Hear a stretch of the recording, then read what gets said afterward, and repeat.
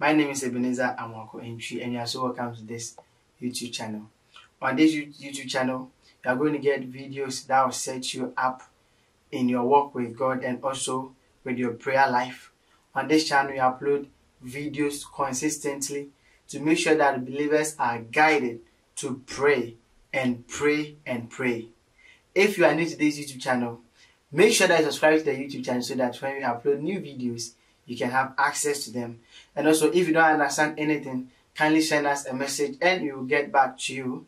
Also, make sure that this video you are about to watch, you like the video, try and comment on it. And when you are blessed by the video, make sure that you share it to someone. Thank you.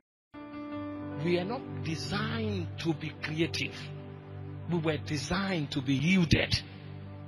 That is where our life begins to find meaning. It's possible for you to come into time and think it's all about business and money. And then you make money all your life. It's possible for us to come to time and think it's all about fashion. And then you make fashion all your life. And you never connected to the spirit realm until you depart.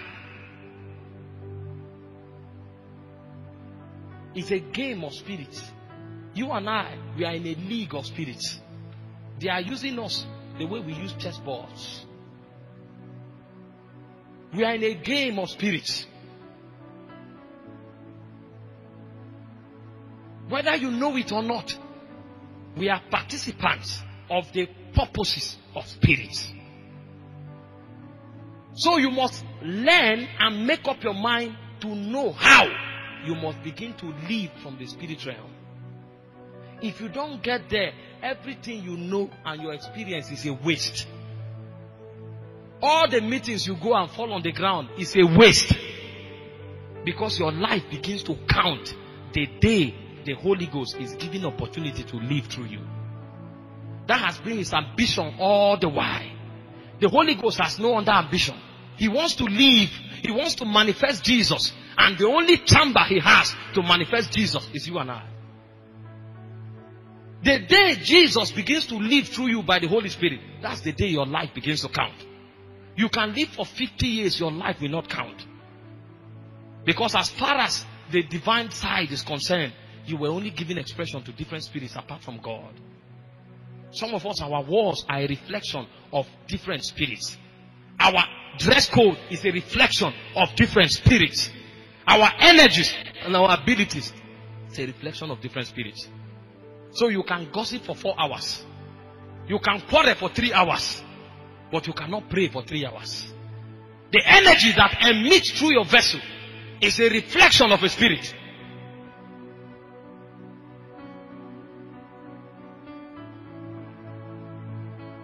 The day Jesus begins to live through you, that's the day you are relevant. And life is short. What you call time is not up to a dot in eternity. You are only living on this side. That is why you think it's large. In the immortal side, is like a dot. Because it is not controlled by time.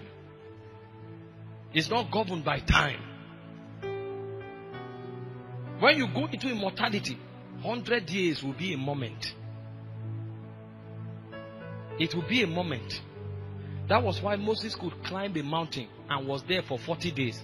And he saw everything that happened from when the world was created up to where he was standing. How can he see that? Only Adam lived for 930 years. Methuselah lived for 969 years. How was Moses able to see everything that have happened through many generations only in 40 days?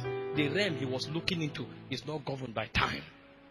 Why then will you think your own value should only be calculated in terms of time? What a waste. You go to a realm where time is not relevant. And then all you have, all your resources, all your value can be calculated in terms of time. You have been wasted. The only thing that can strike a mark in eternity are the things that are born by those spirits. So when you institute their reality here in time, by the time you journey back to their realm, you become a pillar. You are called a memorial for eternity. Because the reason why that spirit found expression in time is because you gave him access. So when you go back into his world, you will share in his glory. If all you gave access to is the devil, By the time you journey back to eternity, you will share with him.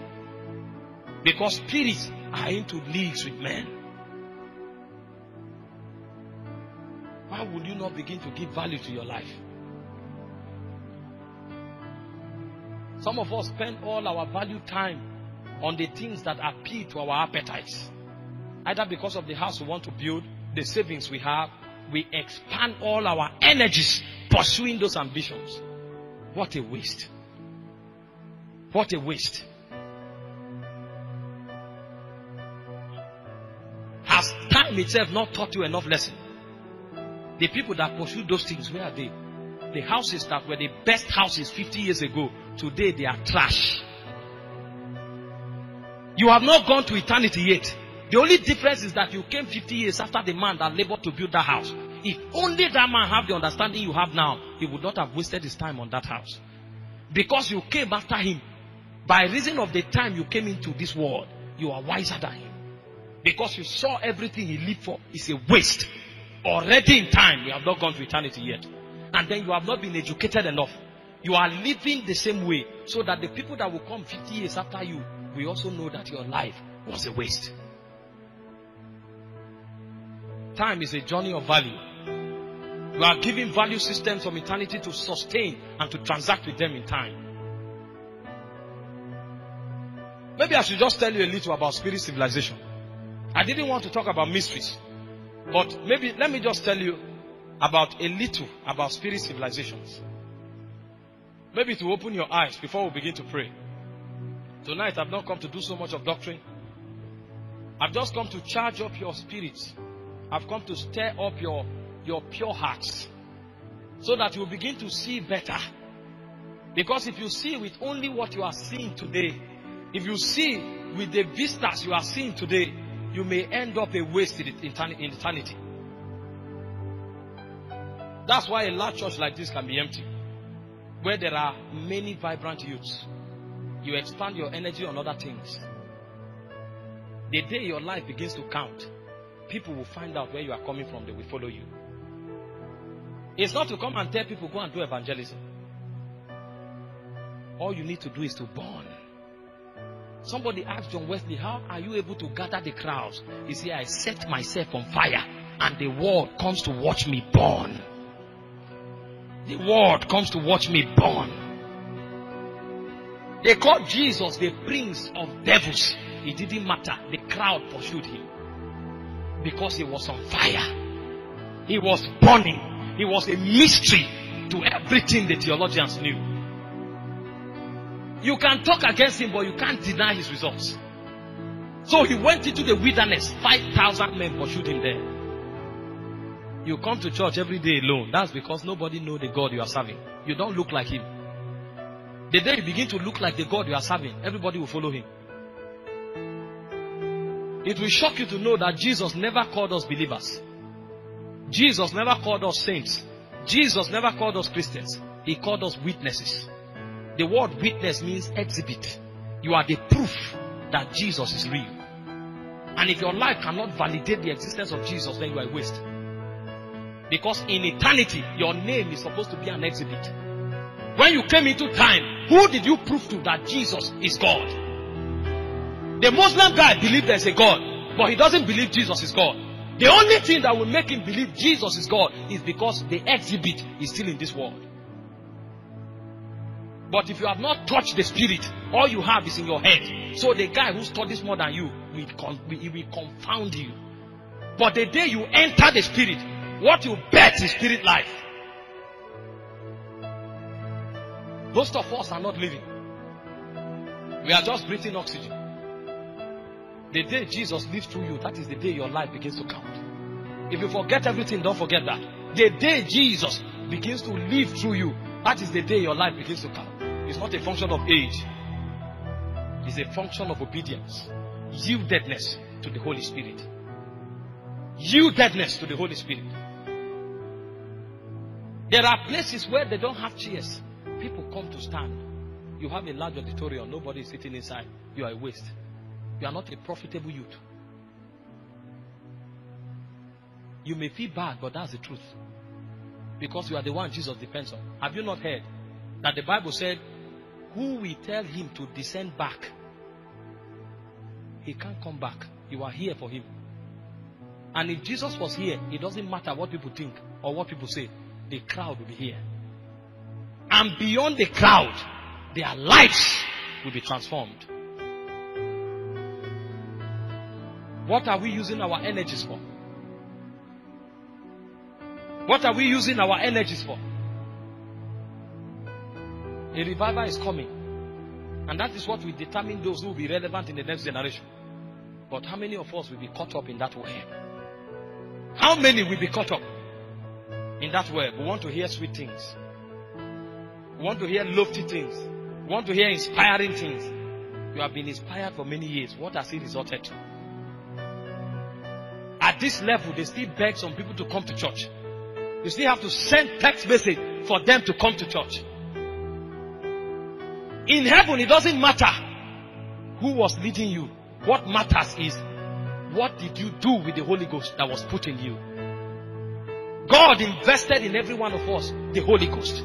So we would not have any excuse. That's why he said you don't need any man to teach you. He said that anointing that is in you teaches you all things.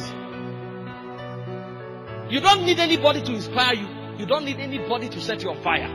The Holy Ghost is doing more than enough. You are refusing to yield. That's why you are where you are. And like I told you, these are matters of spirit civilization. You don't know the game spirits are playing over your life. That's why you think it's a joke. Adam thought it was all about fruits. He didn't know that his destiny was being bargained. When the spirit comes to you, it shows you a good path, but the end is destruction. There is a good that has destruction at the end. That good is of the devil. The devil is not all bad. There is a good in the devil, but the end of his good leads to death. That is why he shows you that path to deceive you, to beguile you. It's called the fruit of the knowledge of good and evil. Good has never been tamed with evil, but there is a good in devil that leads to evil. It leads to death. It leads to destruction. That's why he shows you that path, and then you enjoy. You think it's good, but at the end of the day, he's bargaining your destiny. Being set on fire is not to be, is not to hear things that inspire you and you are jumping. Being set on fire is not to hear sounds that make you feel excited. Being set on fire is for spirit to be literally transferred into you. A higher intensity of spirit. When it's imparted into you, his character dominates you. That's why you see a madman behaving the way he's doing. He is over, overdosed by spirit of madness. So he cannot but manifest madness. When you see a girl dressing lustfully and carrying out sexual activity, it's not that is being on fire. She was overdosed by a spirit of immorality. She can't control it. Everywhere she goes, she manifests it. The same way, if an intensity of the Holy Ghost comes upon you, you become a mobile Holy Spirit. You come to a place people are burning. As you are talking, He's rising on your inside. As you are praying, it's rising on your inside. You don't come to shout in the place of prayer. You come to be stirred so that you can go to higher corridors, higher chambers in eternity where you will utter words from and you will be seen as a judge. Being on fire is not what you think it is. This thing is spirit business. You follow him until he saturates you. When he saturates you, his character is seen over you. His abilities are seen over you. His wisdom is seen all over you. That is when you are grounded. It's not when you go and read books and then you come to talk it to spike people. It's folly. Hallelujah. Hmm. The prayer that have gone down here is massive. Glory to God. I know your intensity is very high this afternoon, but um, tonight is the first, so we have to do a little teaching so that people will have understanding as touching what the depth of the emphasis that the Lord will be bringing our way is, and then the, the scope and magnitude of what God wants to do. It's my singular privilege this afternoon to salute the servant of God, the set man over this commission, for affording me the privilege to be here this afternoon to share with you the word of the Lord. Can you please put your hands together for Jesus as I celebrate God's servant, Pastor Steve. I'm not seeing Mama, but glory to God. Pastor Steve and his wife, thank you so much for having me. Kano, Kano is an ancient city with a very high spiritual pedigree.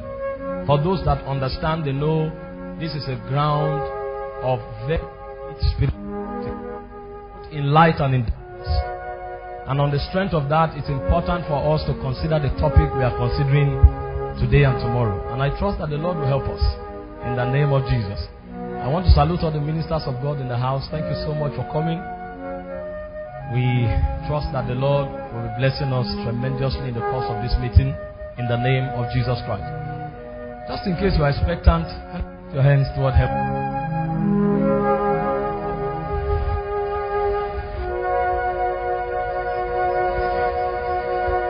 I want God to walk with us in this first session in a very calm atmosphere because of the kind of things to do. Generation. The first thing he does is to paradigm shift in the mind. Because if the mind is not guided in the everything. Just talk to Jesus, tell him to minister to you this afternoon. Tell the Lord to minister to you. There's a word of the Spirit that you need to hear. Else, even your prayer will not count. Your fasting will not count. Paul said, I bear them witness that they have zeal for the Lord.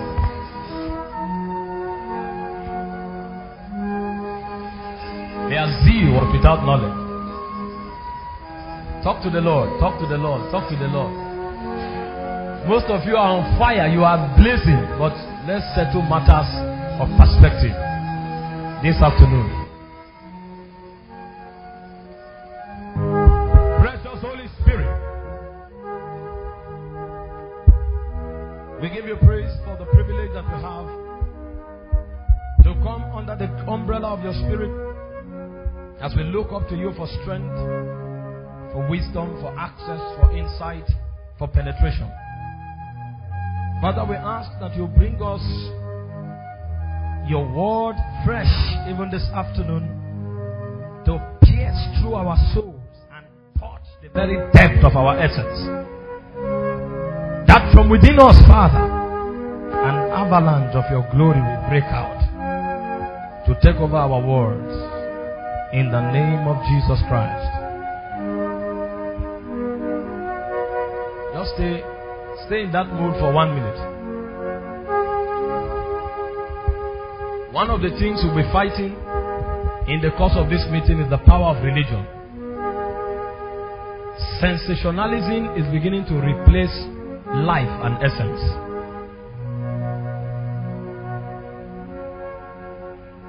The Holy Spirit wants to minister to somebody now.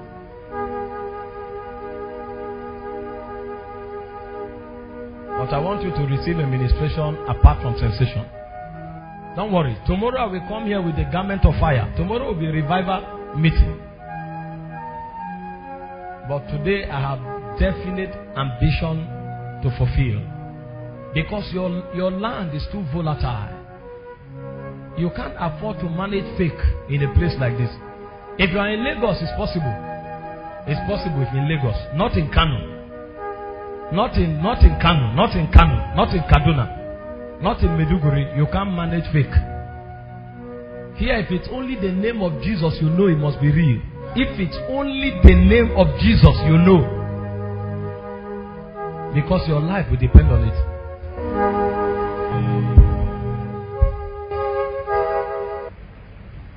Just lift your hands toward heaven. Ask the Lord to touch you now. You see, the Holy Ghost wants to minister to somebody. But you must test reality. You must test reality for yourself. You must test reality for yourself. There's a young lady here that you had an encounter with a being few months ago. And that being came to you and told you the spirit realm is about to open to you, that there's a journey ahead of you. And since then, you've been having encounters, you've been hearing sounds, and sometimes it's as if that being is walking with you. In fact, the reason you came for this meeting is because you are trusting God for an encounter. You are the first person the Lord wants to talk to and minister to this afternoon. But if I jack the meeting up, you may lose out of what God wants to do. Precious Holy Spirit. If my visions are correct, this person is wearing something like a black shirt. I don't know. Precious Holy Spirit. I ask that you release the oil for that encounter so that there will be a quickening by your spirit. From the left side of this hall to the right, from the front to the back. Holy Ghost, touch that one now. So that she will enter into experience by faith and be able to walk that which you want to do in her life. Thank you, Holy Spirit. Touch that one now. And let that activation begin to intensify. Let it begin to intensify. Let it begin to intensify. The prophetic gate opens. The prophetic gate opens. I ask for that partnership in the angelic to be quickened right now. The angel that brought that revelation of your spirit. Father, I release the atmosphere for that angel to begin the ministration now. In the name of Jesus. That's right. Thank you, Holy Spirit. Thank you, Holy Spirit. Thank you, Holy Spirit. You know, God is beginning to minister. But sometimes people are used to emotional things, they don't understand how to touch reality. If I came in with fire, this place would have scattered. But most times, People are not touched. They are only overwhelmed. They are only overwhelmed. And the angel is dropping the oil on the head of this one. Holy Spirit. The separation begins now. The separation begins now. You see, you are soon going to receive a bath of fire. Because I'm seeing fire beginning to drop on your head. And it's going to spread around your body gradually. Gradually. Gradually. I kill the atmosphere so you will know it's not sensation. Because where this thing will take you, sometimes it will be in the mouth of the grave. And you will know how to invoke heaven. Invoke heaven. Invoke heaven. And heaven will answer. The fire begins to spread. From the crown of your head to the soles of your feet. The fire begins to spread. Because right now there's a partnership in the heavens. There's a partnership that begins in the heavens. A partnership. A partnership. A partnership. A partnership. A partnership. Yes, Lord. Yes, Lord. Receive that education by the Spirit. Receive that education. Let it flow. Let it flow. Let it flow. Let it flow. Let it flow. Let it flow. Let it flow. Help that sister. She's not the one. Let it flow. Let it flow now. Let it flow. Thank you, Lord. That that one may be touched with a coal of fire. That that one may be touched with a coal of fire. We want to live sensation, we want to live religion. Touch that one with a coal of fire. With a coal. I'm beginning to hear a shout in the spirit already. I'm beginning to hear a scream, a scream in the spirit. A scream in the spirit. A scream in the spirit. The trumpet. The trumpet is released. In the name of Jesus, I hear a scream. I hear a scream in the spirit. I hear a shout in the spirit. The trumpet. The trumpet. Hmm. Flames of fire. Flames of fire. Flames of fire. Flames of fire. Flames of fire. Flames of fire. Flames of fire. Flames of fire. Flames of fire. Everyone implicated. Lord, let your hand touch now.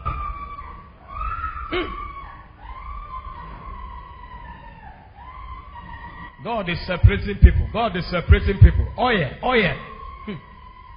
Before we begin, there will be an empowerment. Before we begin, God is separating people. Somebody's eyes is about to open. You have been praying for the spirit realm to become real to you. Somebody is about to see a quick vision. And this vision you will see, God is going to show you what assignment He has for you.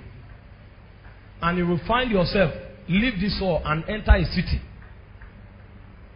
A city around the west. Around the west. And you'll find yourself engaged, carrying out an assignment that will eventually become the call of God upon your life. Father, from the left of this hall to the right, from the front to the back, the ones that you have implicated by this utterance, I ask that their eyes open in the spirit now. Let them begin to see. Let them begin to see. I know you are not used to this. Let them begin to see. Hmm. Thank you, Lord Jesus. Thank you, Lord Jesus. A veil is about to be lifted from somebody's eyes. And instantly you will see snapshots. Snapshots. Snapshots. It will come like sparks. Like sparks. Like sparks. It will come like sparks. This thing will create a faith in your heart that you can never doubt again all your life that you are called. The first time I saw a vision, I was seven years old. And the heavens opened. And I saw a man sitting on the throne. And then I saw a woman presenting a child to the man. And I tapped my mom to look. And it vanished. Even if you put it on my throat, I can't deny it. I didn't see it in a church service. I was not falling and screaming. I was, I was fully intact. And I interacted with the spirit realm. Those dimensions are lost.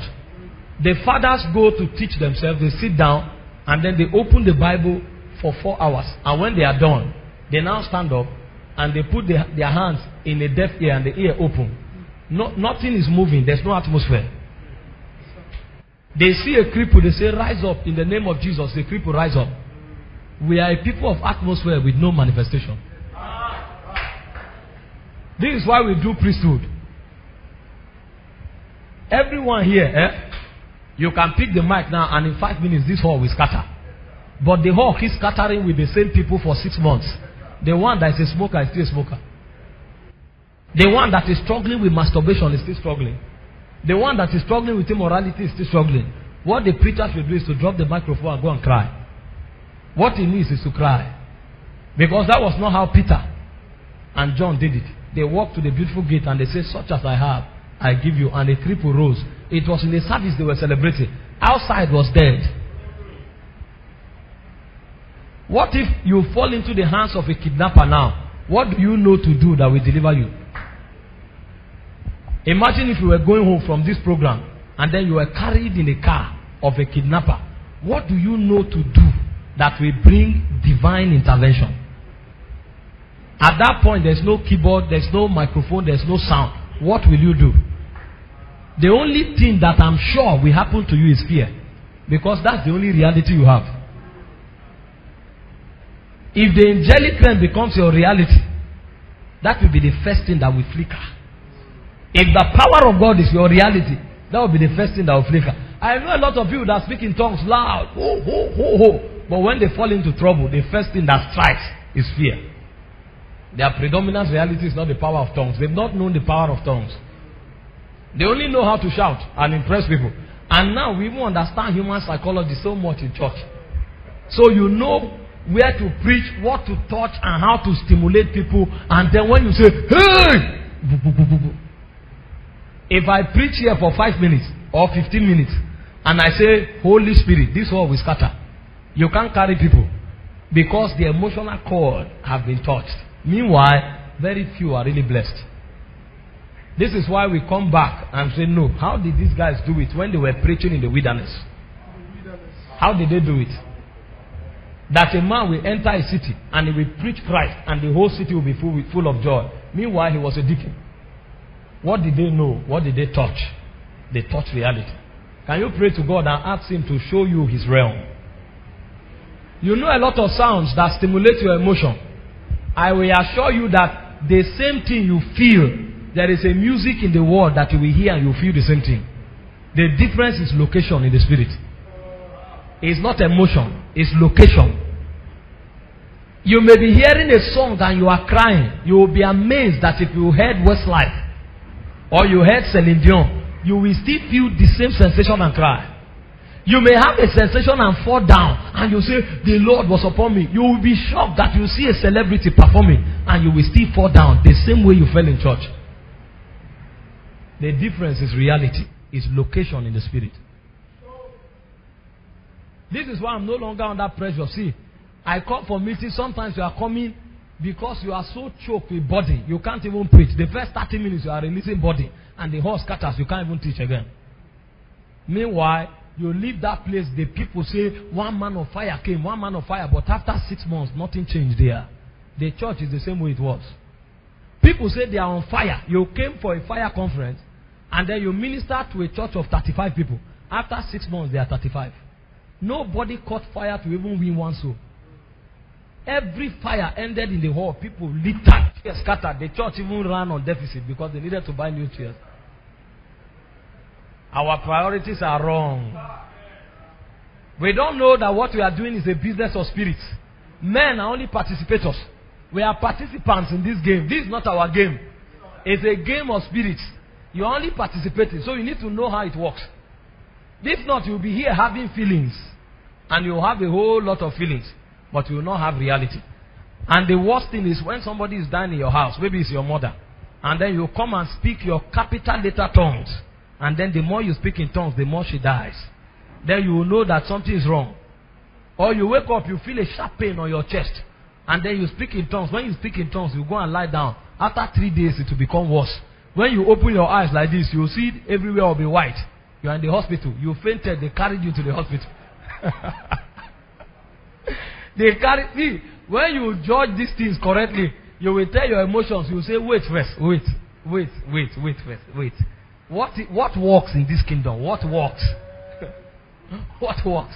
I began to examine the words of Jesus. Jesus said, "If you love me," I thought he would say, "Cry and have a feeling." He said, "Keep my commandments." Uh-uh. I now discovered there's no emotion in love in the spirit. you see, these things work differently. What you see in the natural is a different reality in the spirit. That you are feeling something and you are, oh, you will be deceived until the day there is crisis and you run and you saw five people with cutlass. You will not know whether it's the name of Jesus you should call or it's tongues you should speak. Meanwhile, you are the prayer champion in church. You pray in tongues, everybody is falling. Now there are people with machete. That's when people should fall.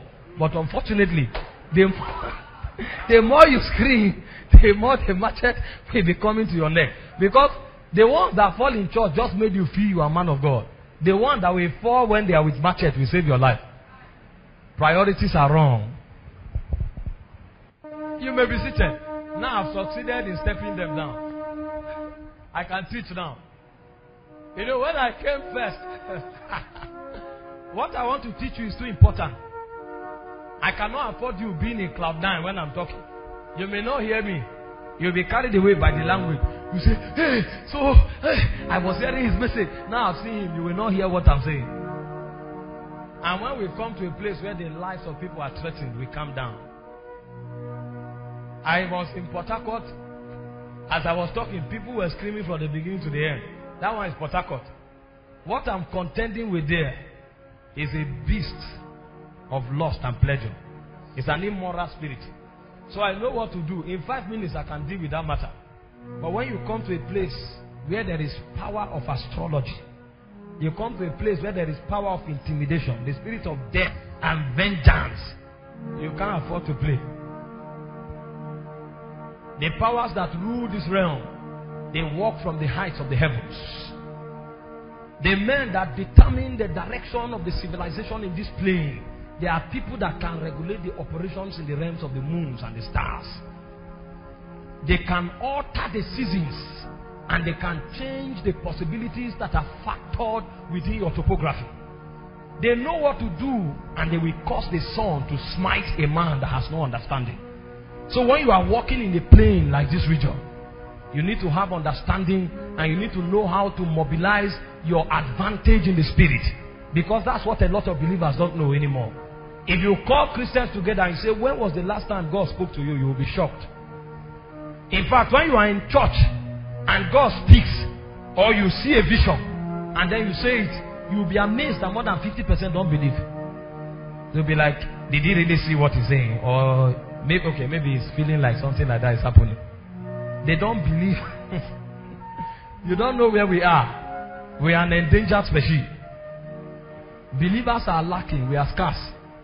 There are few people now that have access to the realm. In the days of Eli, the Bible said the word of God was cast. So Samuel came and said God spoke to him. He took Eli, the high priest, he took him three times of reporting to know that this could be God. This guy was sleeping in the tabernacle. But a boy heard the voice of God, and the priest could not discern that it was God talking. He had to come to him three times before it occurred to him that eh, this thing could be God. Oh. He was the high priest. That's why a man sees an angel. He said, the, the Lord, an angel of the Lord is moving here. More than 90% think he's just talking. Because it's no longer a possibility in the Christianity that we practice.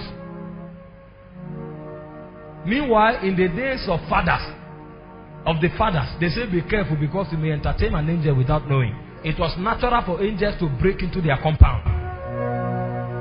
Now, even in church, it's hard to believe.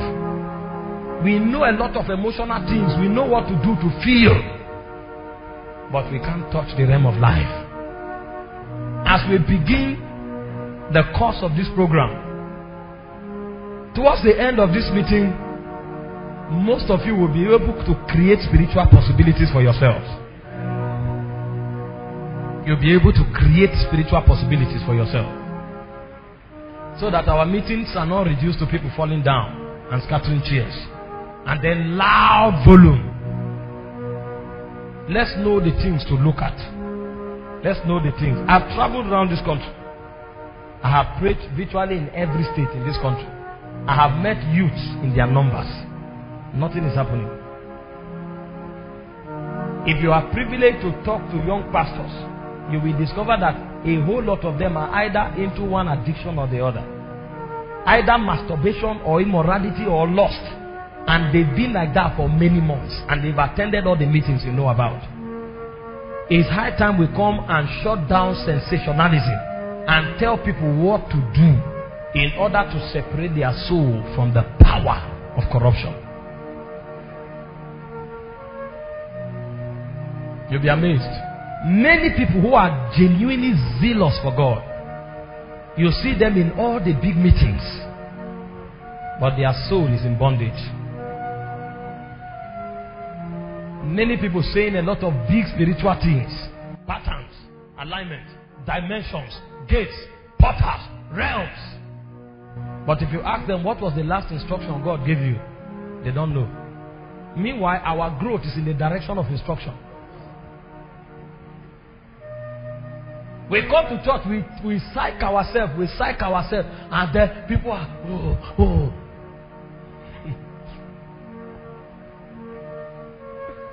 Meanwhile, even in our immediate family, the condition remains the way it is. I want to share some things with you this afternoon. God's servant, he said priesthood and influence. So I will share some things. All this thing I'm doing is salutation. So that will, you will rest. You will rest. Don't have any expectation of me. That's what I'm trying to do. Rest. Rest. Jesus said, I have many things to say to you now. He said, but you can't receive it. How be it when the Spirit of truth is come, He will guide you into all realities. So sometimes people have many expectations, but they don't have what it takes to receive. So it's not about big man of God. How many of you here have seen all the big preachers in this country? Most. You've seen Apostle Arome Osayi, you've seen Apostle Joshua Selman, you've seen Reverend Chris Oyakhilome, you've seen Bishop David Oyedepo. How much impact does it have in your life? How many of you here have fallen under the anointing? But things have not changed in your life. So it's high time you learn spiritual truth and practice them. I traveled round, I pursued every anointed man. I got most of them to lay hands on me. Nothing was changing in my life. In fact, when I met Apostle Arome Osayi, I came like this. I told him I am a seer. Meanwhile, when he held my hand, he shook his head. You know why? I was light in the spirit. I was light. I was like feather. I didn't know why every challenge that came my way threw me down. Every challenge. Today they say fear. I am among them, those who are afraid. They say lying. My tongue was keep in line. Oh yeah.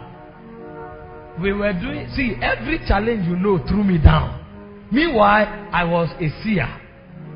Now there was nothing wrong with the ordination. What was wrong is that I have not engaged process in order to gain stamina in the spirit. So he held my hand. He said, ah, He said, You are light. You are light. He said, By the time you enter the first phase of your call, I will tell you. Meanwhile, I was a quoter of scriptures. I quote scriptures without thinking. As I'm standing here, I would have quoted 30 scriptures already. Everything I say, I back it up with scripture. Everything I say. But my secret life was thinking. I had no faith in anything. So we come, we talk.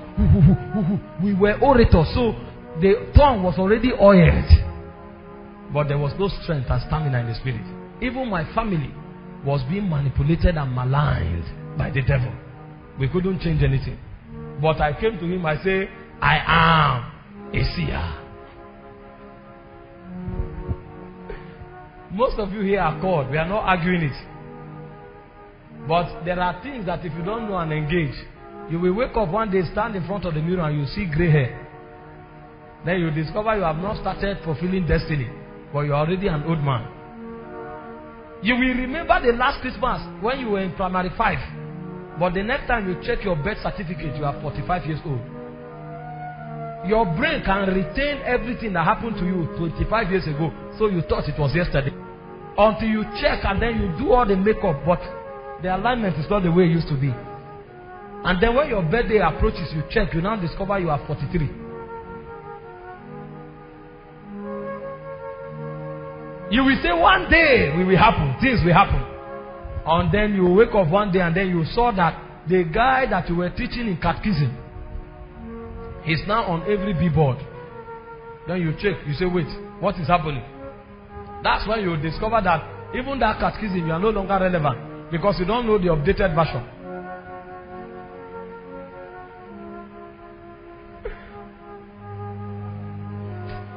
You see, we are young people. We are young people. So let's calm down.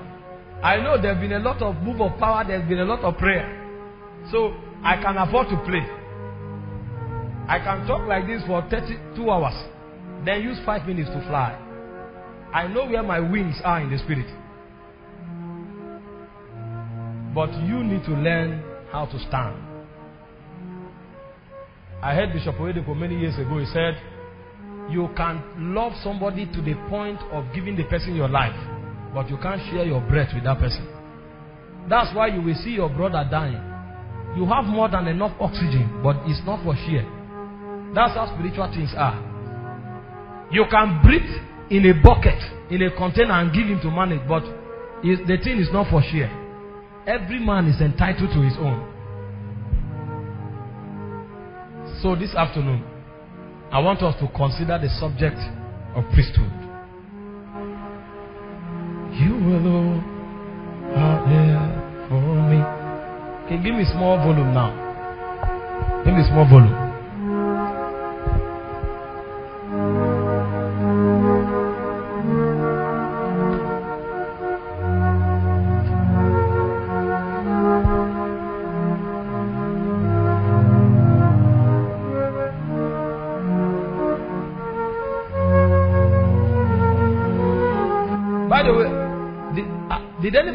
A vision?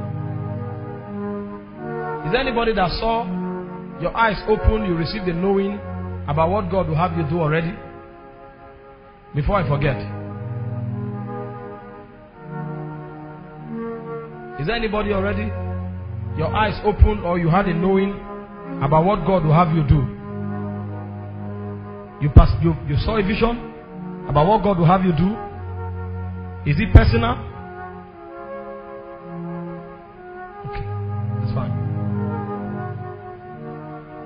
Meanwhile, what I also ran now is to show us an experiment of our own spiritual strength. You know, if Pastor Steve comes up and jacks this place up, you will be walking in the economy of his own spiritual radar and having spiritual experiences. And you will think you are, you are growing. That's actually an advantage that you entered because of his labor in the spirit. If I jack this atmosphere up, most of you will have many encounters. Most of you will begin to touch the energy level where I'm operating from. But you can't live by that.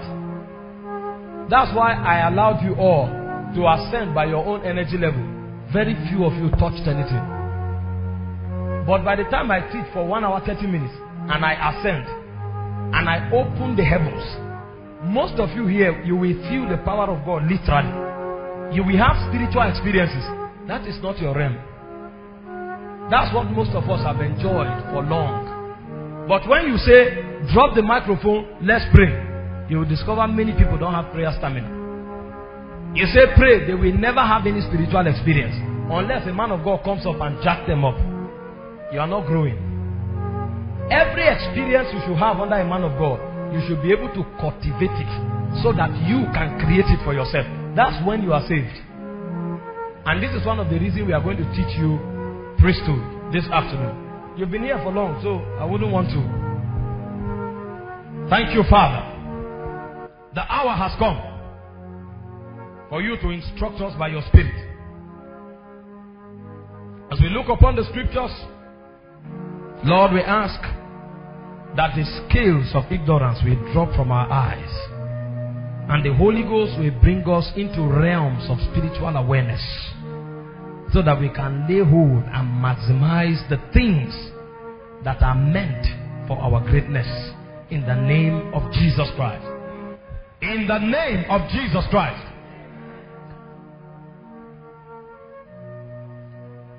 Our world is fractured. Our world is manipulated. There are a lot of entities that are influencing possibilities in this realm. A lot. God is sovereign, but his rule in the earth is not sovereign. The sovereignty of God is perfect in the third heaven. But on earth, there are many governments manipulating the tides of spiritual possibilities. The extent to which the spirit can influence the patterns of the earth realm is to the degree that they can even violate your soul and your ordination. Because the earth is fractured. In John chapter 9, Jesus showed up a city and he saw a man born blind. And his disciples asked him, He said, Who sinned that this man was born blind? Jesus said, Nay. What is responsible for this man's condition is not necessarily a sin. They said, Is it his father that sinned? He said, No. Is it his mother? He said, No. Is it the man? No. It is not a direct effect of sin that have put this man there. He said, But I must do the work of him that sent me while it is day. Listen, Jesus came to contend with another government. That man was not guilty of sin necessarily. His father and his ancestry did not plague him because of their sin, but there is a power that can manipulate human possibilities. The guy's eyesight was taken from him before he was born. He was innocent, but he was a victim because he's in this world.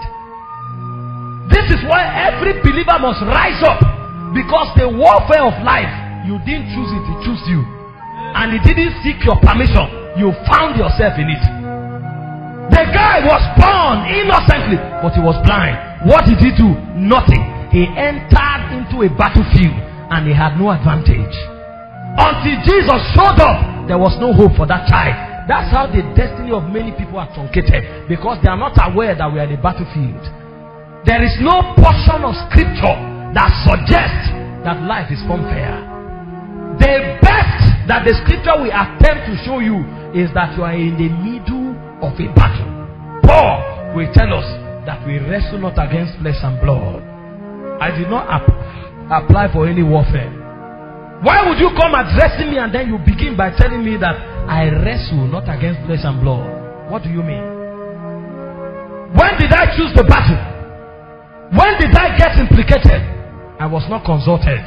Manipulations in the heavenlies. If they had consulted me, maybe I would have chosen the path of peace. Because in battle, even the guy that thinks he has won loses something. Have you seen me soldiers return from battle? As mighty as the American army is, when they return from battle, sometimes people come without their legs. Their limbs are cut off because there are every time there is a battle of necessity, there must be a loss. How come the battles of life choose you without consulting you? Because the reign is fractured. There are other entities that have authority in this realm. And these guys come with an ambition an agenda. Jesus gave us the manifesto in John chapter 10, verse 10. He said, The devil cometh not but for to kill, to steal, and to destroy. Who are the people he came to kill? Who are those he came to steal from? Who are those he came to destroy? Are they the angels? Is it the heavenly host? It is you and I that are in this world. That's why the Bible said there's an evil day for every man. But woe unto the man that is of weak strength. Because he said, if you faint in the day of trouble, it means your strength is little. Your strength is small. So life in itself is not lived until you understand how to build strength and to mount up with wings so that you can draw energy from the realm of your advantage. Anybody who does not know how to draw strength and advantage from the supernatural is an endangered species. You can bear the title of a believer. You can have offices in the body of Christ. But if you have not known how to maximize the spirit realm, you are an endangered species because we are in a battlefield. Imagine if Kano was in a riotous condition and they said the only way to survive is to give everybody a gun, but you don't know how to use yours. Even the least adversary can bring you down. That's the condition of many believers. We think we are exonerated because we are believers. We think we are exonerated because we bear the title Christian. We think we are exonerated because we are church leaders. We are leaders of fellowship. These guys have no respect for titles. When they come to you, it is the energy you emit that makes the difference. And these things don't just happen, they are consciously created. Many of us are living without exploring the supernatural. We are living without taking advantage of the things that are meant for our good. The devil is happy when we live as ignorant beings. That's why Paul said, he wished that we be not ignorant of the devices of the enemy. And he said, concerning spiritual gifts, that not one of you should be ignorant. Those are two things that Paul emphasized the danger of ignorance. If you are ignorant of the powers that manipulate this realm, you are in trouble. If you are ignorant of your spiritual advantage, you are in trouble. You need to understand the forces that contend against your destiny. And you need to understand the forces that are, are made available for your destiny. Else, you are in trouble. Nobody is saved because he's a Christian. Nobody is safe because he's a believer. Everybody that is safe is safe because he knows how to enter his God zone. This is where spirituality begins from. Spirituality is not a title for a few people. Spirituality is not a system, a religious system for a few people. Spirituality is a life of advantage because a man knows his God zone. How many of us know our God zone here? You'll be amazed we are few. That's why the job of counseling has become a, a, a mess. People are not discipled, they don't know what to do in the midst of crisis. they run to people to tell them what to do. But that is not the design. That's not the design. Brother, you are a pastor in this place, you are a preacher, you are an apostle, you are a prophet. That will not save you. Do you know how to enter your God zone? This is the subject of priesthood.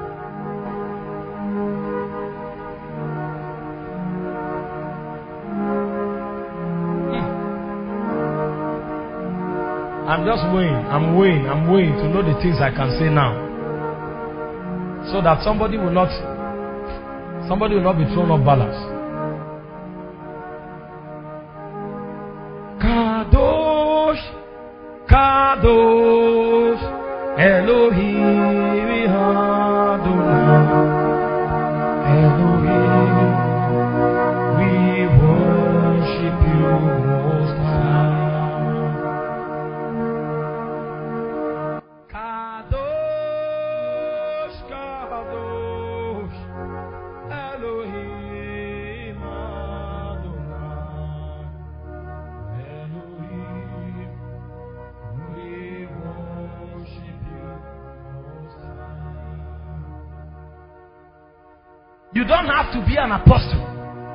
order to win in this life.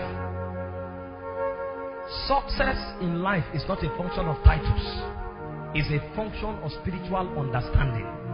What do you know? What do you know? This is the crisis of our generation. We say a lot of things, but we have mastery in nothing. What do you know? You are in Kano. What if you were going home and there is crisis? What do you know? This thing is not about going from one program to the other. What do you know? You have been a Christian for 10 years. What do you know? Preachers are under pressure to wow people. So we come, we show people what we can do and what we carry. But the people we are talking to, what do you know? The Bible said He gave some to be apostles, He gave some to be prophets, He gave some to be evangelists, pastors, and teachers, not for themselves. He said for the perfecting of the saints, for the equipping of the saints for the work of the ministry, so that they can come into what full stature. Everyone that sits under the apostle, the teacher, the prophet should become a reflection of the Christ. You cannot sit under a man who is called and you are not becoming like God. The idea is not the glory of the title. The idea is not the benefit of the title. The idea is not even the advantage of the anointing. The idea is to equip, is to equip, is to equip. We are in crisis, but there are no people to stand. When God needs an army, all we have are church members. Heaven is looking for an army, but we are clamoring over church members. It's a plague. Most times people are careful because they don't want to embarrass the pastors. They don't want to embarrass us, the apostles. So the calamity they are going through every day, we come and we stage manage everything as if all is well. And the people are crying in their hearts. Even the testimony, before the testimony comes, they are screamed. Vetted at the background in case the testimony will invalidate what we claim to be doing. The people are crying. If we allow people to say, if you have something to say, come up, you'll be shocked whether we are still in ministry.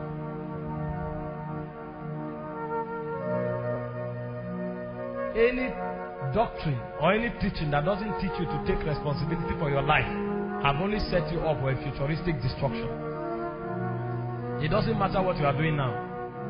The devil will wait for you to ascend. When you have gathered all, then he will wait for you in the future. What are you taking responsibility for? What have you become because you are a believer for five years? What have you become? This is why sometimes I come for program, I feel we should just pray. You have a very intelligent message. People have heard your messages. They are like, how does this guy know these mysteries? How does he know this thing? And then you are coming for meeting. Everybody is coming to hear mysteries. They want you to talk about patterns in the heavenlies. Meanwhile, their life is in crisis. Somebody came to me to church with clutches. He's going back. He said, Oh boy, this meeting a powerful meeting. Oh, and he's still on his clutches. The guy came, he's a puppet in the hands of an immoral spirit. He's going back from that same powerful crusade. The fair lady he saw by the right, he has looked at him three times, at her three times. The lust is still there, but he will say, "Oh boy, this meeting this evening, no be sporting, no." They have lost understanding of essence. So sometimes I wonder where we should continue teaching or we should just be praying. You know, in the days of the father, they will call, fathers, they will lock themselves and just pray for three months for sanctification. Let God purge their soul. Now, for us, sanctification is a doctrine. So you quote five scriptures for sanctification, and then you go and declare that I'm the righteousness of God. But in the days of the fathers, they were more concerned about experience. So even after reading the Bible, they go sit down and they pray for months for God to purge their soul. Meanwhile, in our days, we have the doctrine in our head, but our spirit is lean. So even the principalities in the territory, they are not moved. We will have one meeting and we'll have 30 apostles. Shaka. This one comes up to display his own arrogance. This one comes up to display his own excellence. This one comes to display his class. Nowadays, the principalities don't even come for our meetings. You know, those days when they gather in meetings, they will anoint some witches and send them to distract the men of God because they know that the height they will hit in Zion, if they touch those cords, it will affect their thrones. But nowadays, we don't even ascend. So they don't bother coming for the meeting. They will just wait for you. Finish from the prayer meeting. When you finish on Friday, come, come. As you are entering the hostel, the first, the first chat you enter on Facebook, you enter back into immorality. They are not moved by your meetings.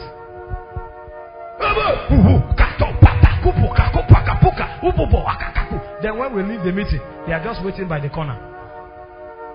They are not threatened by our tongues anymore. Because we don't do business in the realm of God. We are talkers. So the guy comes to talk. He gathers his language to impress the people. He knows what he will say so that the people can. Ooh, they are marveling. They are marveling. Who is this? Who taught him these things? Meanwhile, he doesn't touch the, the wave of the spirit. He can't touch the embers of life. Sometimes when we come for meetings, we should repent. The garbage is too much. The garbage. As I'm going to talk priesthood now, if I begin teaching now, you'll see some people doing like this. Yeah, you know, uh, this is what we do. This is what we do. This, yeah, yeah, actually. This what, some people are even judging this atmosphere now. Aye, there's no intensity. What is. Uh, man, I was thinking that. Uh, I've seen all of it. My brother, if it does not translate to transformation, it was a waste. We waste hundreds of thousands, take money from people I see for programs, but nobody is changed. In the days of the fathers, they knew what counted. I was told that the crusade where Billy Graham gave his life to Christ, he was the only person that walked forward. But many years later, more than 43 million people will be saved because one man. That crusade is more important than most of the crusade we run in a year. We have lost, we have lost understanding of priority. I didn't come all the way to Kano to impress you. I came so that there will be a paradigm shift in your soul. I came to show you what you will do every day that will change the story of your life. I pursued sensation for a long time. I pursued men for a long time until I understood that the thing that changes men is the things they commit their lives to. That's why they were with Jesus for three and a half years. One of them became a son of perdition. That's Jesus. It's not Apostle Arome. I'm talking about Jesus for three and a half years. They could not amount to anything. They saw all the miracles, they saw all the signs and wonders. Those are the things we run to crusade to see. We see all the miracles you do like this, ten cripples rise. They saw it, but they were nothing. Until Jesus came back and he breathed on them and opened he their understanding that they may understand the scripture. They have to go and dig into the spirit for themselves. It's what you do for yourself that will change your story. responsibility in this kingdom is inevitable. You can't bargain it, you can't negotiate it. That's how it must. That's how it has always. And that's how it will always be. Irresponsibility has robbed us of our destiny. So we run with titles, but we have no tangible experience.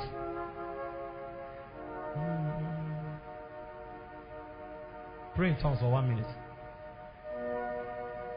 I'm trying to find my bearing. I don't know what where to start from. I am I'm just hush. I wish I wish God will help us this evening. I'm trying so much so that I don't impress somebody. I'm trying so much so that somebody will not come and say, Ah, he met my expectation. I'm trying so much that by all means I will shift your attention from me to yourself. So that as I'm talking, you will be judging yourself. And after you leave this meeting, you will forget that anybody like Apostle Mike ever came. But you will say, I was here, now I am here.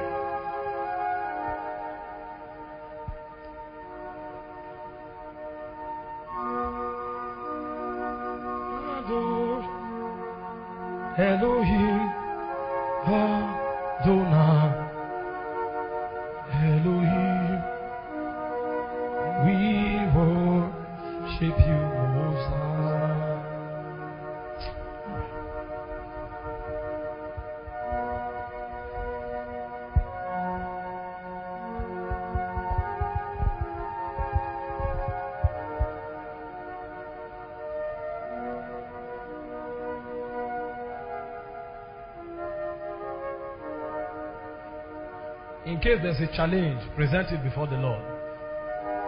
In case there's a challenge. There are many things you can't tell anybody. Present it before the Lord. So as we advance, as we advance, you will deal with those matters in the course of this meeting. You will deal with those matters. You will deal with those matters as we advance.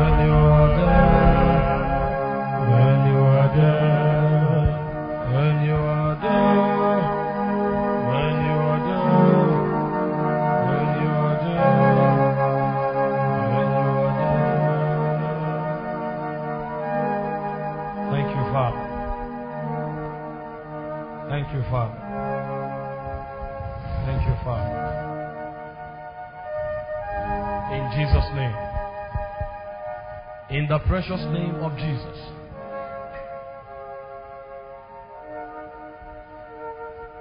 You may be seated.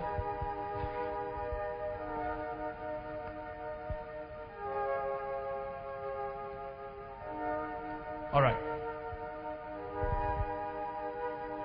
I have clearance now to say some things. I have clearance. So I can say some things now.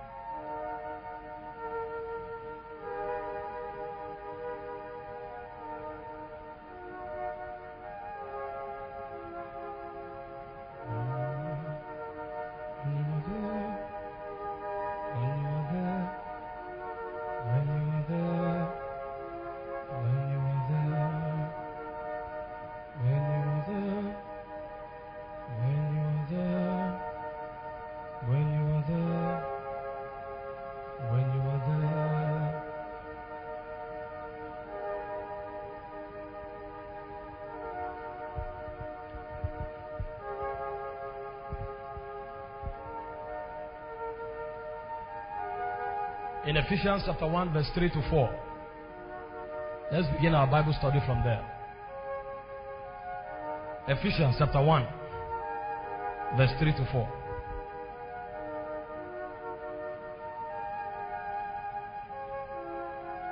Let's begin our Bible study from there.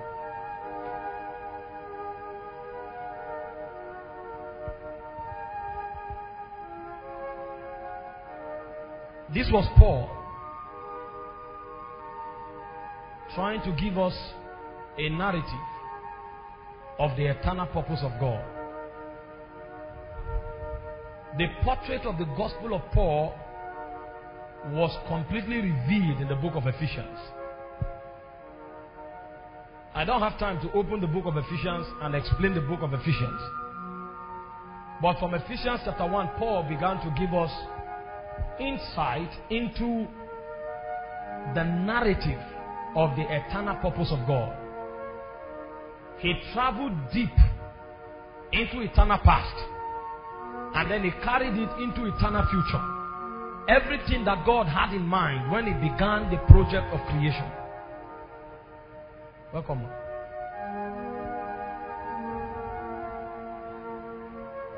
Paul went into eternal past and he gathered informations and he ferried us through time into eternal future. Trying to explain to us the definite and deliberateness in the heart of God when he began the project of creation. Because it's possible for you to appear in time and because you were growing up seeing the cloud, you didn't settle down to contemplate the wonder it is for the cloud to hang in the atmosphere. You know, if you showed up into this world as a full grown man, you may faint. If you see the trees, see the stars, you know, see the cloud and everything, you may faint. But the thing is, you started growing up as a child, so you got used to this thing before you knew the power that will be required to hold these things in their courses. The same applied to the faith that we have today. A lot of us just started going to church before we knew anything about the faith. So we grew up as adults. We got used to religion, but we don't understand the faith. We don't understand what God was embarking upon when He began the project of man. So Paul had to pause for a while. And then Paul began to talk to us by the spirit of wisdom and revelation. What the Father had in mind when he began the project of creation. And in the book of Ephesians, Paul took time to give us a very clear painting of the migration of God's wisdom as touching the creation protocol and the role that man has to play in it. So in Ephesians chapter 1, verse 3, he said, Blessed be God and Father of our Lord Jesus Christ, who had blessed us with all spiritual blessings in the heavenly places in Christ. In verse 4. That's where the burden of my emphasis lies. He said, according as his according as he had chosen us in him before the foundation of the world, that we should be holy without blame before him in love. Paul said, before the world was ever created, you and I were already ordained to have a place in God. And he said, according to the design of God, we were supposed to be holy. The word holy is not the word purity. The word holy is the word separated unto. The word holy means to exist in a class of your own. So Paul is saying, according to the design of God, He created us to be separated unto His own class. That means man can only find meaning in life when his totality is defined, governed, and inspired from the realm of God because that is the blueprint of our ordination. He said, but something happened. The only way we can be without blame before Him will be in the next verse. That will only be in Christ. Now, you will read that scripture in a hurry and you will think it's the same progression. Meanwhile, the gap between verse 4 and verse 5 is more than a century. Because in the beginning, the necessity of our interaction with God by Christ was not there. Christ became relevant because something happened to the world. According to the design, it was our ordination to be separated unto God. That was the design. But something happened eventually. So it became impossible for us to be one with God except through the vessel called Christ. Now, why was Christ necessary? At At what point did Christ become the only basis by which we can interact with God? That is what I began by telling you today that our world is fractured. When Adam was created in the garden, Adam didn't need Christ. Adam could have fellowship with God. Because the design was what? Before the foundation of the world, we were created to be what? Holy in Him in love. But something went wrong. So it's no longer possible for man to interact with the Father. The only way man could have fellowship with the Father was through the vessel called Christ. And what happened is what necessitates most of the things we'll be talking about today. Because if we don't understand the scope of what has happened, we will take priesthood for granted. And any man that takes priesthood for granted has no future in this kingdom. Because the world is not the way it was in the Garden of Eden. Something has gone wrong, something has changed. It's no longer possible for man to just wake up and have fellowship. Meanwhile, according to the writing of Paul, it means the meaning of life is not in breath. It means the meaning of life is what you produce on account of your intimacy with God. That means we are designed to procreate from our interaction with God. The same way a man and a woman comes together and then you see a child as a product of their intimacy. What we call life is supposed to be the product of our intimacy with God. So when you look upon a man, his life is not judged by his stature.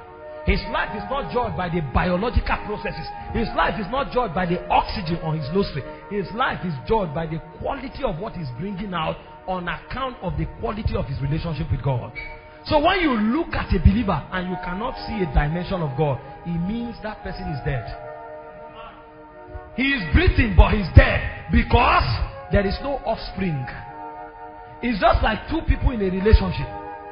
They are married for many years, but there's no offspring. That marriage has no purpose. They will keep trusting God unless their intimacy produces something. So, man's relationship with God is designed to produce something.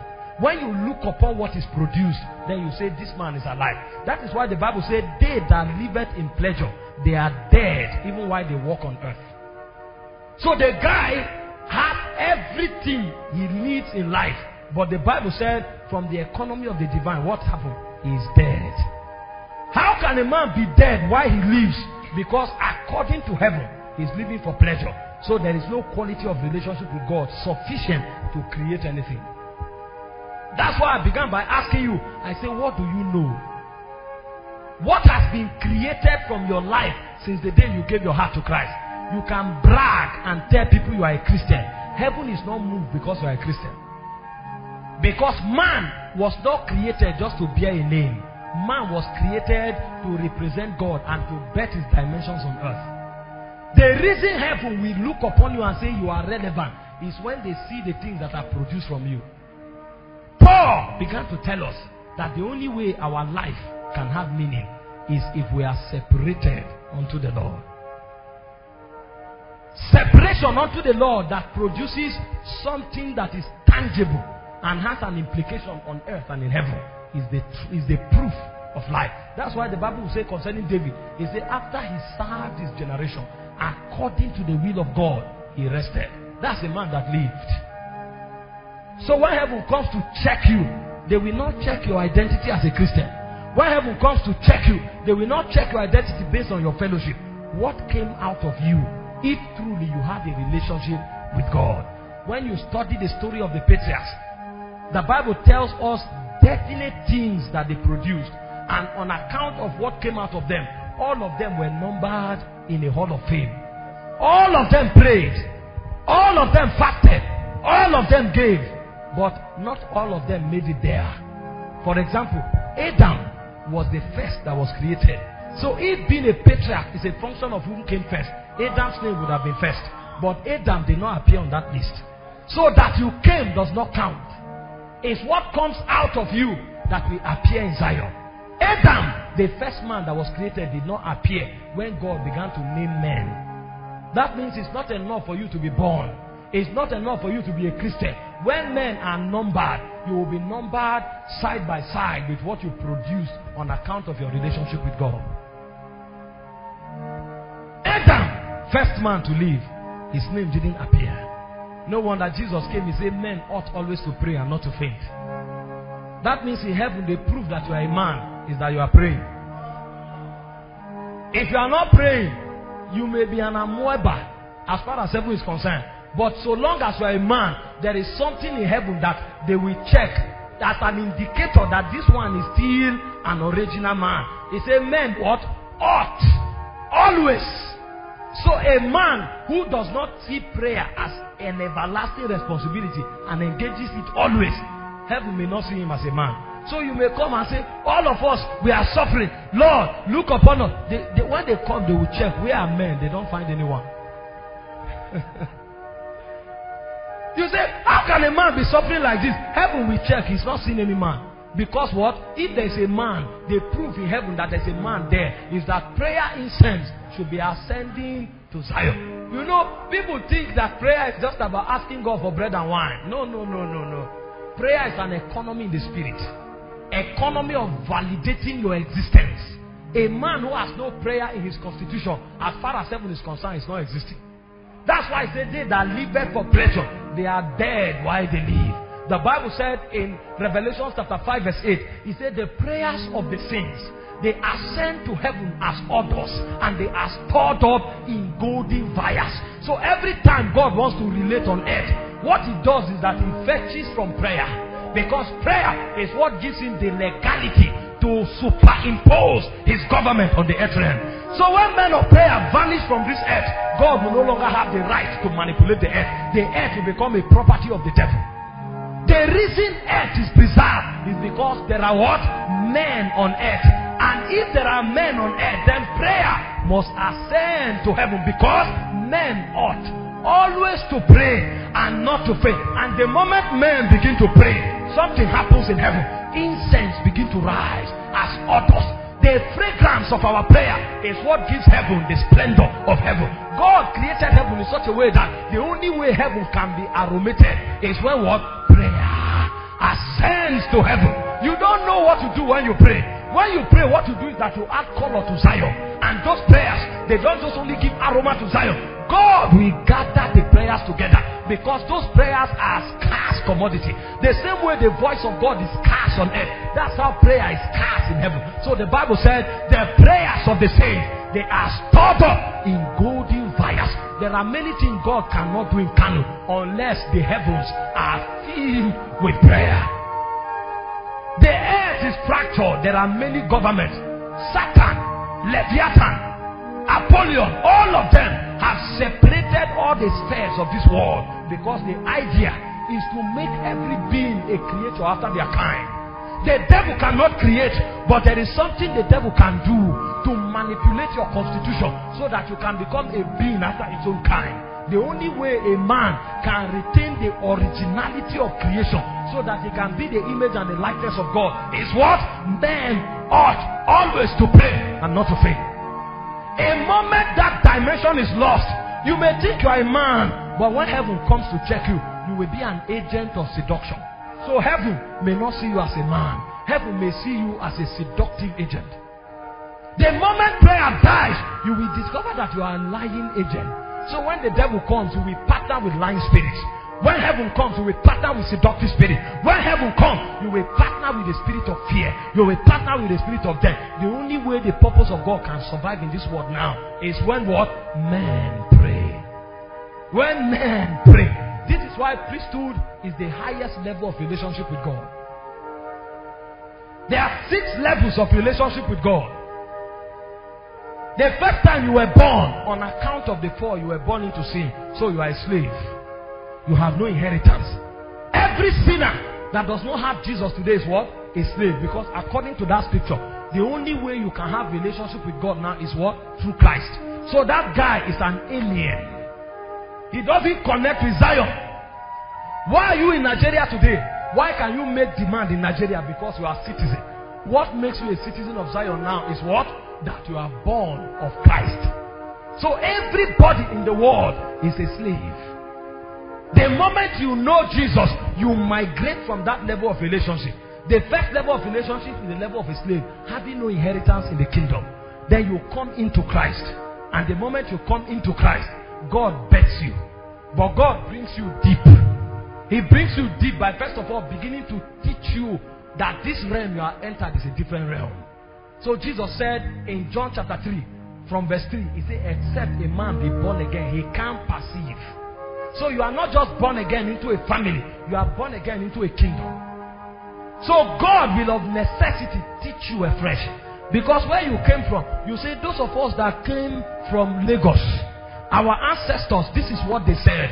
Now you have come into a new kingdom. He said, Let no one in Zion say, I'm sick. You are not used to that culture. They taught you fear all your life. So the moment you are sick, you run and you tell your parents you are sick. In fact, if you don't tell them, they will deal with you because the sickness will aggravate. They are not used to the power to change things, so they want to walk in caution. Meanwhile, you have come into another kingdom, and this new kingdom you came into, they say, What? Let no one in Zion say, I am sick. How do you change your language? How do you change your thinking? So God will enroll you into the school of discipleship. So the moment somebody is born again, he first becomes a disciple. But see the reason why our system now is ruptured. There's no more discipleship. The guy gets born again today because the pastor is in need of a young, vibrant man. In three months, that guy becomes assistant pastor. So he's leading prayer with the garbage that he carried from the world. He's leading prayer with his arrogance. He's leading prayer with his pride. He's leading prayer with his lust. What the pastor doesn't know is that he has not been separated from the other government. So when that guy is praying, he's emitting energy into the congregation. Every prayer you pray for the people before you came, he diffuses it. Because Paul said in 1 Thessalonians 2 8, he said, For that we love you. We are affectionately, affectionately desirous of you. We did not only teach you the gospel, we imparted the substance of our soul. This microphone I'm carrying, because you are listening to me, the quality of my soul is imparted unto you. That's why you can go for a crusade, you will come back and you go and fornicate. If the guy on the microphone is a fornicator, what happens? The substance of the soul is imparted. So when God brings men into the kingdom, the first thing he does is what? Discipleship. He begins to teach you the way of the kingdom. That's when you will discover that eating every day is a sin. It's not a doctrine, it's consecration. That government becomes real because except a man be born again, he can't perceive the kingdom. So before you used to eat you wake up in the morning, you just start eating. Nothing is wrong. You are enjoying your life. Now you want to touch food and the Holy Ghost moves in your heart. Say, no, no, you don't eat breakfast. No, no, no. No, no breakfast. You may not understand it at first. But what is happening is that you are coming deeper into the sphere and the realm of God. If you don't travel on this corridor, you will be a Christian for 35 years and they will make you an elder because you have white hair, but you will not be a ranking entity in Zion. Your words will be light. When you speak, demons will not respect it. Because in Zion, they judge you by the energy that you emit. The guy forbids and violates the protocol of discipleship. Before you grow in God, you must walk through these ladders of relationship. A servant to a disciple. God will teach you what to do with your tongue. That time you go sit down, you talk anything you want to say. Now it becomes a challenge. You did not lie, you did not curse anybody, but you sat down and you spoke with somebody for four hours, and the Holy Ghost is grieved. You sat down, you watched a movie for six hours, and the Holy Ghost is what? Is grieved. And then you went to check the scripture, and then you saw in Ephesians chapter 4, verse 30, it says, Grieve not the spirit. Grieve not the spirit. So for you now, watching movie for four hours is what? A sin. Discipleship has begun. See, this is a part of knowing God. There are a lot of grace people walking around now. They come, they tell you, you are born again, so you are the righteousness of God in Christ. Anything you can manifest, you have no proof that you have it. The proof of ownership is manifestation. That's why, see, you may think you know something, you don't know it until you can demonstrate it. Paul said, Oh, I don't want to digress. Let me just follow this line of thought and then carry us gradually. Seen a lot of young people. I want to use contemporary examples so that you understand me.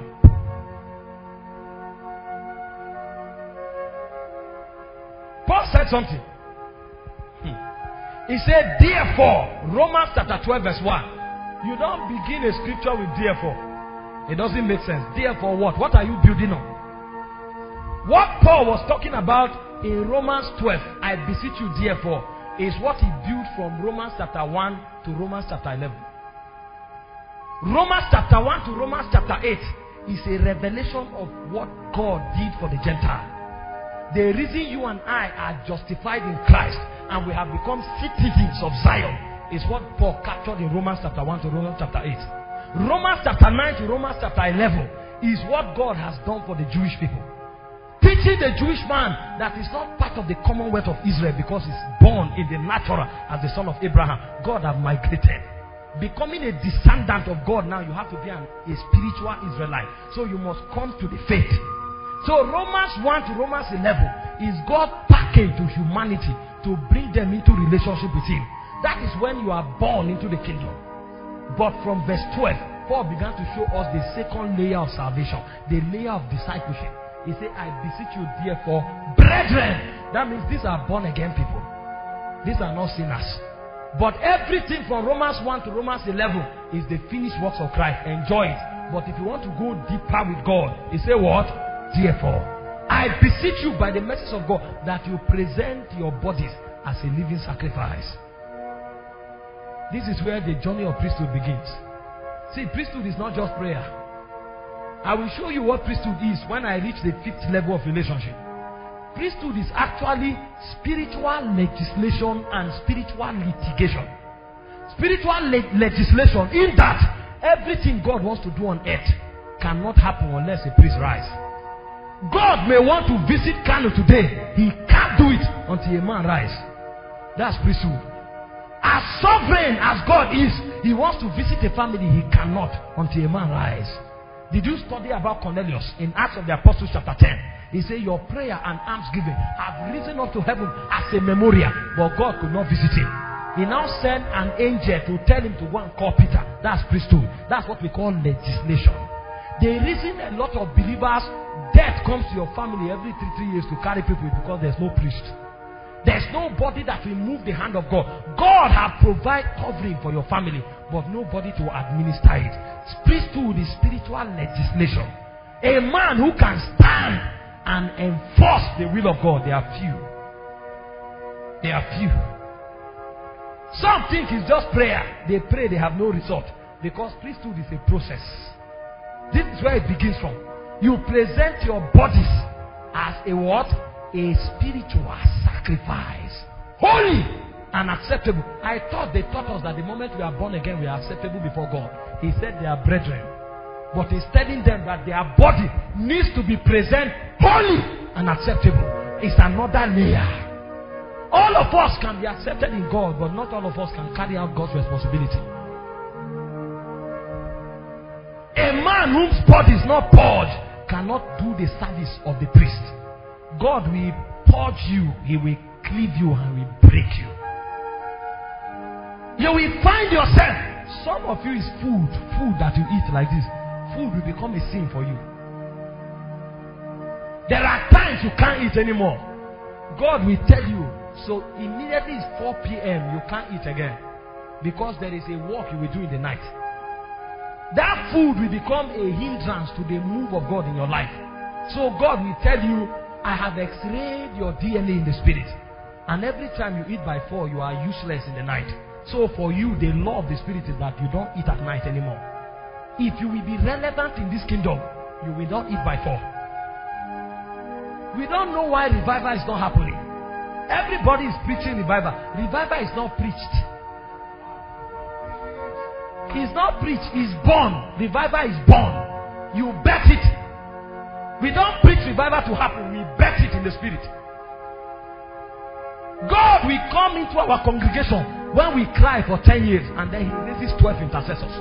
And then these 12 intercessors, He provides a chain of prayer for them in the night. And they need to run that chain for three years unbroken in order to raise incense enough to heaven to download the avalanche of God. And then one of those people is not purged. His time schedule is 3 a.m. in the morning. Every 3 a.m. a being comes and touches him. He wakes up by 3 a.m. He checks his 3. Tomorrow he wakes up, it's three. Next tomorrow he wakes up. He doesn't know that he's part of a chain of intercessors that have been ordained from heaven to bring revival. He thought it's just by coincidence that he's waking. He doesn't know heaven will be rigid. God can choose to frustrate his finances so that his focus can come back to him for that three years. For that three years, his business can crumble because there is a purpose in the heart of the Father that is bigger than his ambition. For him to be relevant in Zion, he will not sleep for three years by 3 a.m. Because every time a revival is to take place, angels are mobilized from heaven, and those angels partner with men on earth. That's why Joshua went to Jericho. God wanted to subdue Jericho, but there was no way. He saw an angel of the Lord with his sword drawn out. He said, Are you for us or against us? He said, Nay. According to the word of the Lord that might come, there is a commission from heaven that Jericho should go down. If your army partner with that commission, I am with you. Every time a revival is to be born, matching orders are given to angelic beings. So your partner in the realm of Zion taps you in the morning. He say, Wake up, let's walk. And then you wake up, you do like this. Because you ate rice and beans and you cannot wake at night. That's why revival is not coming. The men that should bet it, they are asleep.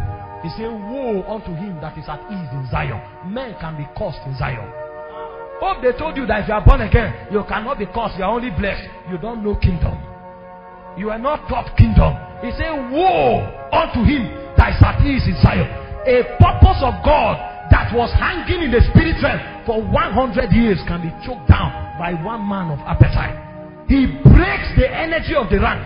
Eleven other intercessors are faithful, but this one man must watch movie till 1 a.m.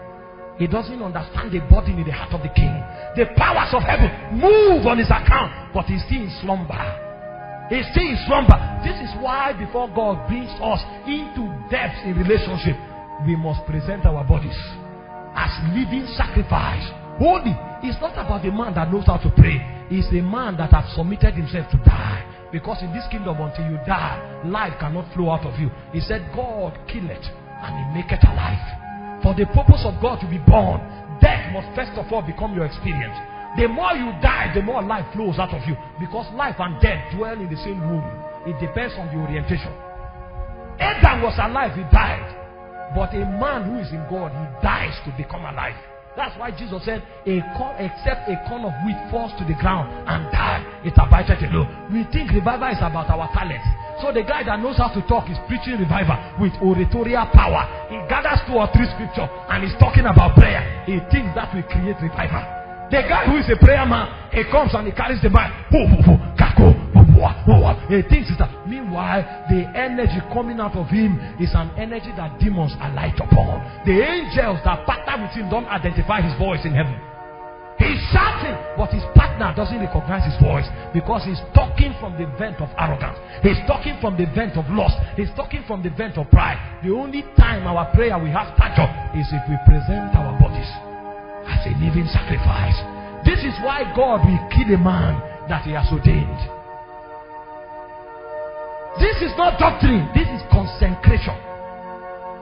There's nothing you will tell John the Baptist about prosperity that will work a prophecy was hanging in the spirit realm for 700 years. In Isaiah chapter 40, verse 1, he said, And I heard a voice crying in the wilderness, Prepare a way for the Lord. That season had come, but there was no man of sufficient stature. People could not discern. That was the time when the Sanhedrin had politicized the order of the priesthood. They had two priests. One was a political priest, the other was a man that ran the oblation.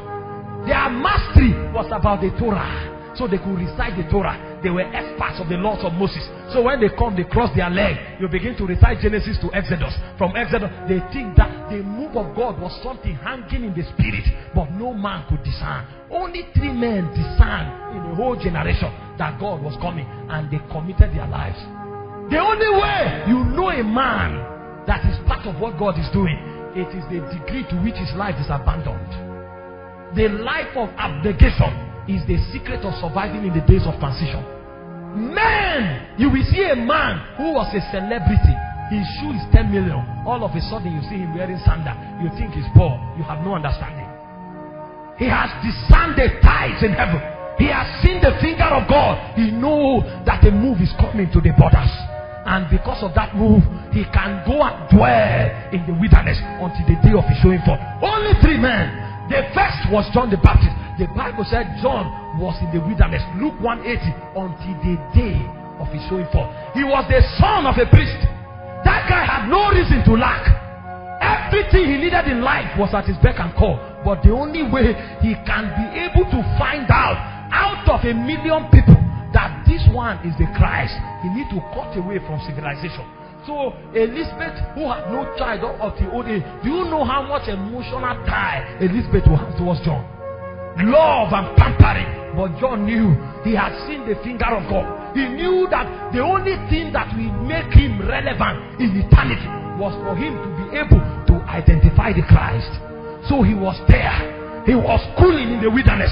The Sanhedrin could not teach him. They knew the laws of Moses. The ways of God were captured in the Torah. But what God was doing, only men of discernment could find it. They said, and of the sons of Issachar. These were men that had understanding of the times and of the season and knew what Israel ought to do. It doesn't mean the Levites are no longer relevant.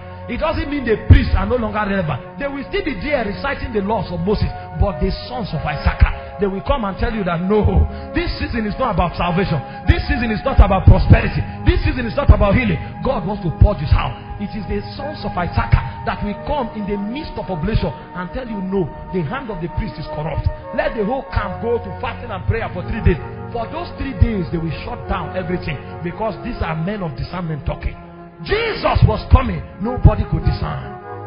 Only John. And immediately John separated himself. Because what? You must be a living sacrifice. That's why your father will tell you, as you are behaving like this, if you don't take that job this year, you will regret it. Ah, you went inside, your heart wanted to fail you, but you saw him that was invincible.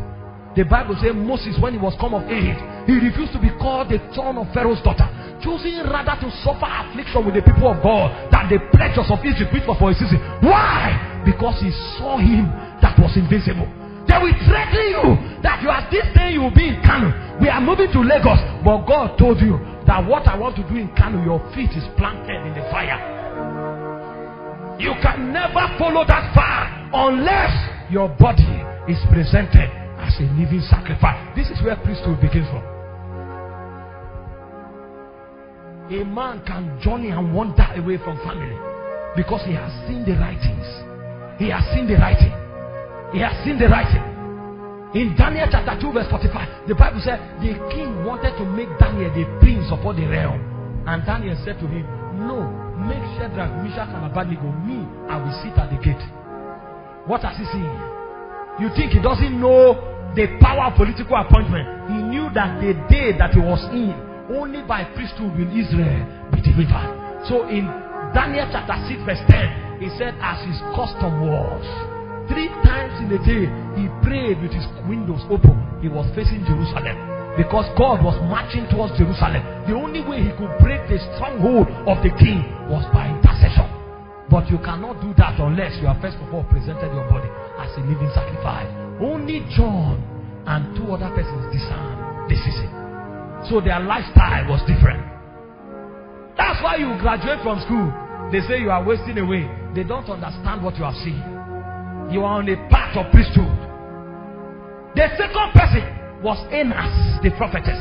The Bible says she lost her husband at the age of 21 and she gave herself day and night to prayer and fasting. Living in the temple until she was 84 years old. Are you okay? Your husband died when you were young. What are you doing in the temple? Prayer and fasting. When you look at, see, you cannot judge the quality of a man's life on earth. The plane of earth is too low. You want to know who is great? Ascend to Zion. See from heaven. That's why you will know the men that are mighty. The Bible said these men, some of them, they were sawn asunder.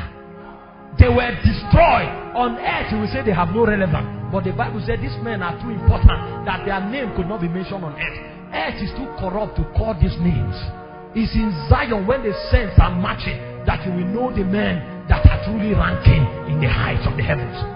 Because they saw what heaven wanted to do, they sacrificed their life on earth. The kind of gospel some of us preach is not for everybody. It's for men that have a witness that they have a part to play in their generation. Because everybody that this gospel will make will make meaning to, the Holy Ghost is already talking to your heart.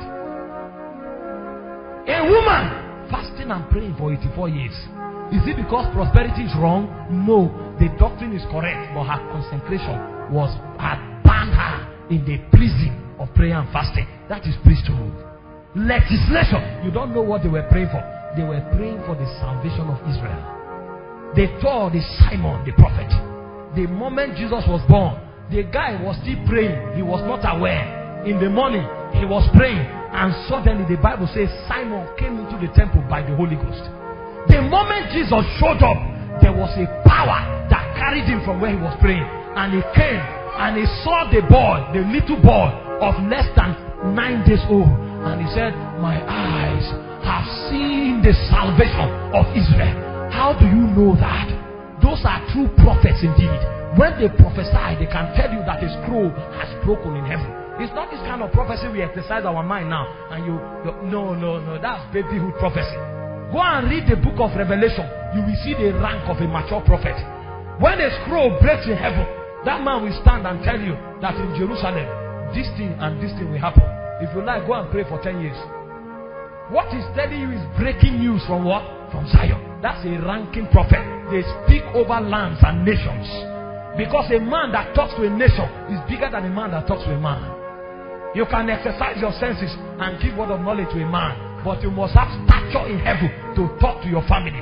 You must have stature in heaven to talk to a nation. That's why we are prophets, but our family is in darkness. We don't know what to do about it. Our country is in darkness. We don't know there are no ranking men. There are no ranking men. Simeon, he came. He said, My eyes have seen the salvation of Israel. He said, Now I can depart in peace. The reason he was alive was to provoke heaven until Jesus showed up. So the meaning of his life was his ability to stir up heaven until he, he reset the season of the coming of the Messiah. You, you are living for a government job and you think you will count in Zion. When God comes and checks you out, you will be light. Even the princes in darkness, they won't bother about you. They can have one million of you in this world, it will not amount to anything. But when a priest rise, even Hades is threatened. Because priests have only one burden in their heart to see the will of God find expression. For that, they are willing to leave family. They are living, willing to leave jobs. They are willing to leave nations. The Bible said, Paul and Barnabas. He said, These be the men that hazarded their lives for the gospel. You are preaching the doctrine of Paul. You are preaching grace, but you don't know the life of Paul.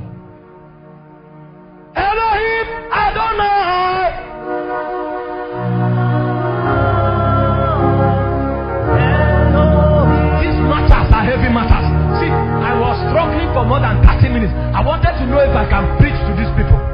I wanted to know if your appetite is still about a good job. If your appetite is still about graduating from from from uh, Bairo University Kano and running to Lagos to get a good job, I'm not talking to you. I'm talking to men that we walk on earth, but their head will appear in heaven as immortals. Colossus in Zion. You see them, you can't judge their life unless you check them out in heaven. You may see them with rag. The Bible said John only ate wild honey and locust bean, that he was dressed in camel skin. But when Jesus came, and immortal being came, and he looked at John, he said, Of all men born of a woman, there is none greater than John. Of all men born of a woman, how can a man eating white honey who was dressed in camel skin? He didn't even have lineage on his body. But when the immortals came, Jesus looked at him and he evaluated his height from Zion. His stature was greater than his own generation. Until that generation was willed to John. They will say, In the days of John. If you were born that time, if we want to look for you in the lexicon of heaven, the book we will open, the name of that book is John. Your destiny will be locked up in what? In John. In the days of John. Every man that lived, his name was chronicled in the book of John. So if you go to heaven and you want to find yourself in heaven, the only way you can find yourself if you were born the day John was born is to go and open the book of John. So the book of John is not the story of Jesus. It's the writings of the destiny and the chronicle of the will of God that men live in his season. Possible to rise up and say, in the days of Steve, in the days of Enoch, in the days of Abraham, these men, they were gatekeepers of generations. They are mightier than men. Even while they were on earth, they were walking shoulder to shoulder with angels in heaven. John went to heaven. He was in the Isle of Patmos. They sentenced him from civilization. They didn't know that the man was a living sacrifice. For him, location is not a factor. You can collect his car. You can collect his account number. You can seize everything from him. The only thing you cannot take from him is the ability to stand in the presence. So while he was in Patmos, he said, I was in the spirit. I was in the spirit. You can pursue him from Nazareth. You can pursue him from Ephesus. But he has a location in heaven. I was in the spirit on the Lord's day, and I heard a sound as of a trumpet. Every breaking news from heaven, because he was in the spirit, he could decode and he was carried to heaven. When he finished, he knelt down to worship the angel, and the angel said, I am like unto you. On earth, a man had the rank of an angel, and then you, you are competing with Sister Agnes because she came, she was singing in church and doing like this. You have no wisdom. I want to be popular among the immortals. It's a waste competing with men. What does a man have? I find my purpose and by priesthood I settle into it until when you want to look for me, you need to go and find out the angel that partners with me. When you know the rank of that angel, come and check me out. That's when you will know me. Did you not read about Daniel? He was in Babylon. Why do you think Daniel was the king considered to make him the president over all the realm? In Daniel chapter 2, verse 3. Because Daniel's colleague in heaven was Angel Gabriel. You can't know Daniel. When you want to find out who Daniel is, look for the power that backs him up in the spirit. Until you know the stature of Angel Gabriel, you cannot know Daniel's stature in the prophetic. In the prophetic, Daniel was walking in the rank of Gabriel. That's why Gabriel is the angel of mystery. Daniel was also a keeper of the mysteries of God. The Bible says, seal the book until after many generations. So a man has the right. He knows what to talk to a book, and the book will be sealed. Carry it to Harvard and study it for 10 years. You can't find it. Because Daniel became a keeper of mysteries on earth. The angel that walked with him is a keeper of mysteries in heaven. Priesthood. They didn't teach you how to die. They only taught you how to receive from God. That's why nothing will happen in your land. All of us will pray, the result will be different. The question is, are you a living sacrifice? Priesthood is deeper than prayer. It's life in the spirit.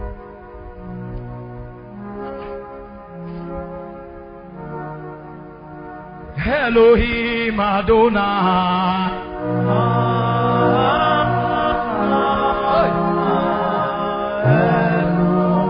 The Bible will come and say, a man's value is not in the multitude of his possession.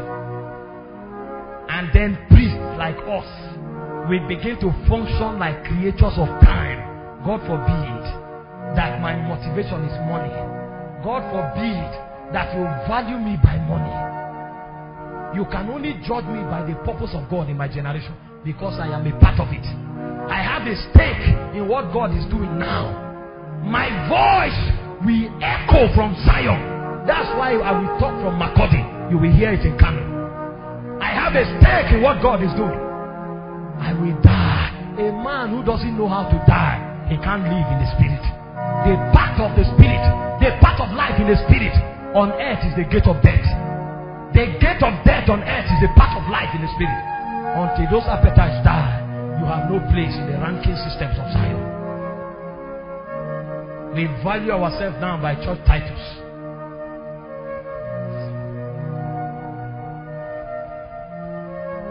I beseech you, dearly beloved, that you will present yourself as a living sacrifice, holy and acceptable unto God.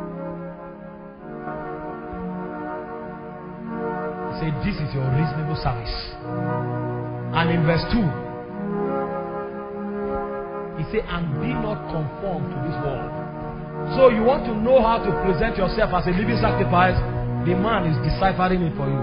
Be not conformed to this world but be transformed by the renewing of your mind. He said, Then you will be able to prove. This word prove is the word demonstrate. The only time you have a spiritual understanding is when you can demonstrate it. And even demons fear people who can demonstrate. Jesus said, The prince of this world cometh to me and findeth nothing. If the devil comes, are you sure you will stand? he comes and say, I am this, I am that. The men that preach those doctrines have not told us the truth. Go and check their lives. Some of them fasted for years until they were hospitalized. Some of them meditated on scripture until angels appeared to them and touched their tongue. And then you will think it's about quoting scriptures. Present your bodies. This is where priesthood begins from. Present your bodies. God will purge you. That's when you can be honorable. He said, The standard of the law standeth sure. They that name the name of the Lord must depart from iniquity. He said, For in a great house, in a great house, there are many vessels. There are many vessels here, but few are important.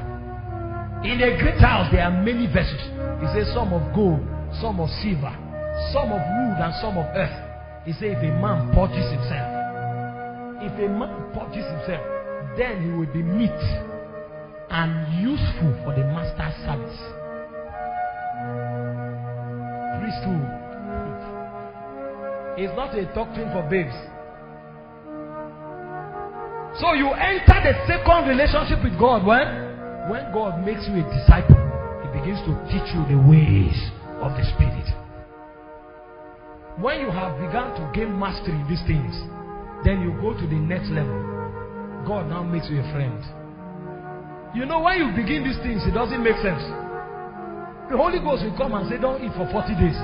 And then you are saying, You say, Thank God. God wants to show me something. And then you pray for 40 days, you see nothing. What God wants to show you is the nature of Christ that the nature of the devil have clothed. So you will keep doing that fasting without vision. But something will happen to you. Before then, they provoke you, say you they mad, you know me, you are full of pride. But now Somebody provokes you, and you look at the person, you don't feel it. You don't feel it. You don't know what has happened. You are a disciple. God walks Himself into you from inside out. So God comes again. He said, Don't eat in the morning. And then you have run that schedule for three months. And then you are wanting, you have not had any encounter. No angel has appeared to you. The worst part is that every time you go for fellowship, and then somebody said, I was praying yesterday and light appeared from the wall. You now go and lie down, you begin to cry. You say, When am I going to see light? What you need is not light. God is transforming you. Because the power you will host can only be possible when you are transformed. He said, When God shall build up Zion, then he shall appear in his glory. We are in different classes in this kingdom. We are all equal by salvation. But when it comes to matters of government, we are different. Because everyone is an agent at different level. Hope you know all of us are Nigerians, so we are all equal by citizenship right. But if you talk now, Buhari can speak and you'll be in prison for life. Equal citizens, different responsibilities. What is the quality of your transformation? To what degree have you died? The Bible says God is not unjust to forget your labor of love. I don't want to talk about influence. I just want to show you what priesthood is first. Is tomorrow I will show you about influence. I will teach you how to partner with the angelic so that you can do territorial matters. There is something you will enter, and overnight you will become an influence in this generation. See, forget, people are just proud. Some think uh, influence is by being on Facebook. So in 24 hours, they have five posts and they maintain that schedule for four months the more they are uploading, the more people become bored. I used to be a fanatic of Facebook. I uploaded any thought that came to my mind. I will upload, I'll see 15 likes, 12 likes. Until I shut down and began to follow God. And when the Spirit Eternal told me, I will begin to announce Him. Even if I put post online, the least like is 1K. I will upload something, I'll see 370 something shares. A little writing. What has changed? I have not become more wise. but the spirit support has come. The power of priesthood. You can't do business territorially until you have a spirit support. This is why we first of all die. Most of your friends will come. They will see you, they will say, How far? They want to snap with you or blow so that people will think you are equal in rank. They prove that you are equal is not the pictures you snap. They prove that you are equal is the impact of your work in the territory. Both of you will talk. One of you will talk to 15 nations. Another one will talk to one local government. Is rank. The degree of debt. I know a lot of young people. You can write something on Facebook. Joshua Selman will copy that and paste it. One hour, you see 180,000 views. But you that wrote that in, it will have 15 views for three months. It's not about novelty, it's death. It's death. This is where the angels come and they put a trumpet in your voice. And when you say hallelujah, the angels blow the shofar. Your hallelujah ended in this auditorium, but the shofar of the angel can drive away the armies of the Assyrians. This is why four lepers were walking into the camp of their enemies. But what the Assyrian army was hearing was a sound of chariots. The lepers could not even hear their own footsteps, but the enemy were hearing a chariot. What is the difference? Partnership in the heavens. A man who does not die to self, you will remain with your talent, and men will only clap for your talent. At most, they will give you money, but you cannot shift the thrones of demonic princes. You cannot shift the thrones of darkness that hold the territory in captivity. Before we pray, we must first of all die. Because this thing is not about lingo, it's not about capital letter tongue. It's about the height where your voice echoes from Zion. Where are you talking from? That's why we have become beings of emotion. Because we don't know what it takes to die. See, when you begin to die, a lot of things will not move you. You can come for fellowship, people are doing blah, blah, blah, blah, blah, blah. You just go to one quiet corner. Not because you despise what they are doing. There is burden in your spirit. They can't even understand it. The guy is praying, he thinks about intelligent prayer point. Meanwhile, where you are, maybe somebody is about to be attacked by 10 p.m. this night. That's the burden God was giving you around 4 p.m. When others are doing intelligent prayer point, you you are already fighting for the life of somebody that is going to die by 10 p.m. So you are no longer a creator of time. You are now a creator of eternity. What will happen many hours, that burden has come to you many hours before it happens because you are a partner now. The angel that was mobilized from heaven to create deliverance has partnered with him. 4 p.m. you are picked what will happen by 10. You don't even know why you are praying. You are ransoming their lives. A lot of people will come and say, hey, we get local, oh. thank God, thank God. It's good to thank God. But the man that labored is, is not in Colossae. He's hidden by the cave with Paul. Hope you know. Paul said in Colossians 4.12, he said, Epaphras, a bond servant of Christ, laboring fervently in prayers that you may stand perfect and complete in all the will of God. Meanwhile, there were many pastors in Colossae that were preaching and things were happening. And they will stand on Sunday morning and do like this and say they are anointed. They don't know that the reason the church in Colossians was prospering was because what? Epaphras. Epaphras that have died to fame. He has died to influence. He has died to the applause of men. He was hidden somewhere praying. And so long as he's praying in that corner, the whole church in the territory will stand. One man bigger than the whole territory. Because he knows the technology of death. We, everything we do, we want everybody to clap their hands. That's why only the people that know you are the ones that know you. You cannot go beyond the box of your immediate habitation. Present yourselves as a living sacrifice. When God can count on you as a sacrifice, then he begins to tell you the secrets of heaven. That's when God will reveal to you the stories of eternity. So you can come to a church. They say, Come to Kano and preach.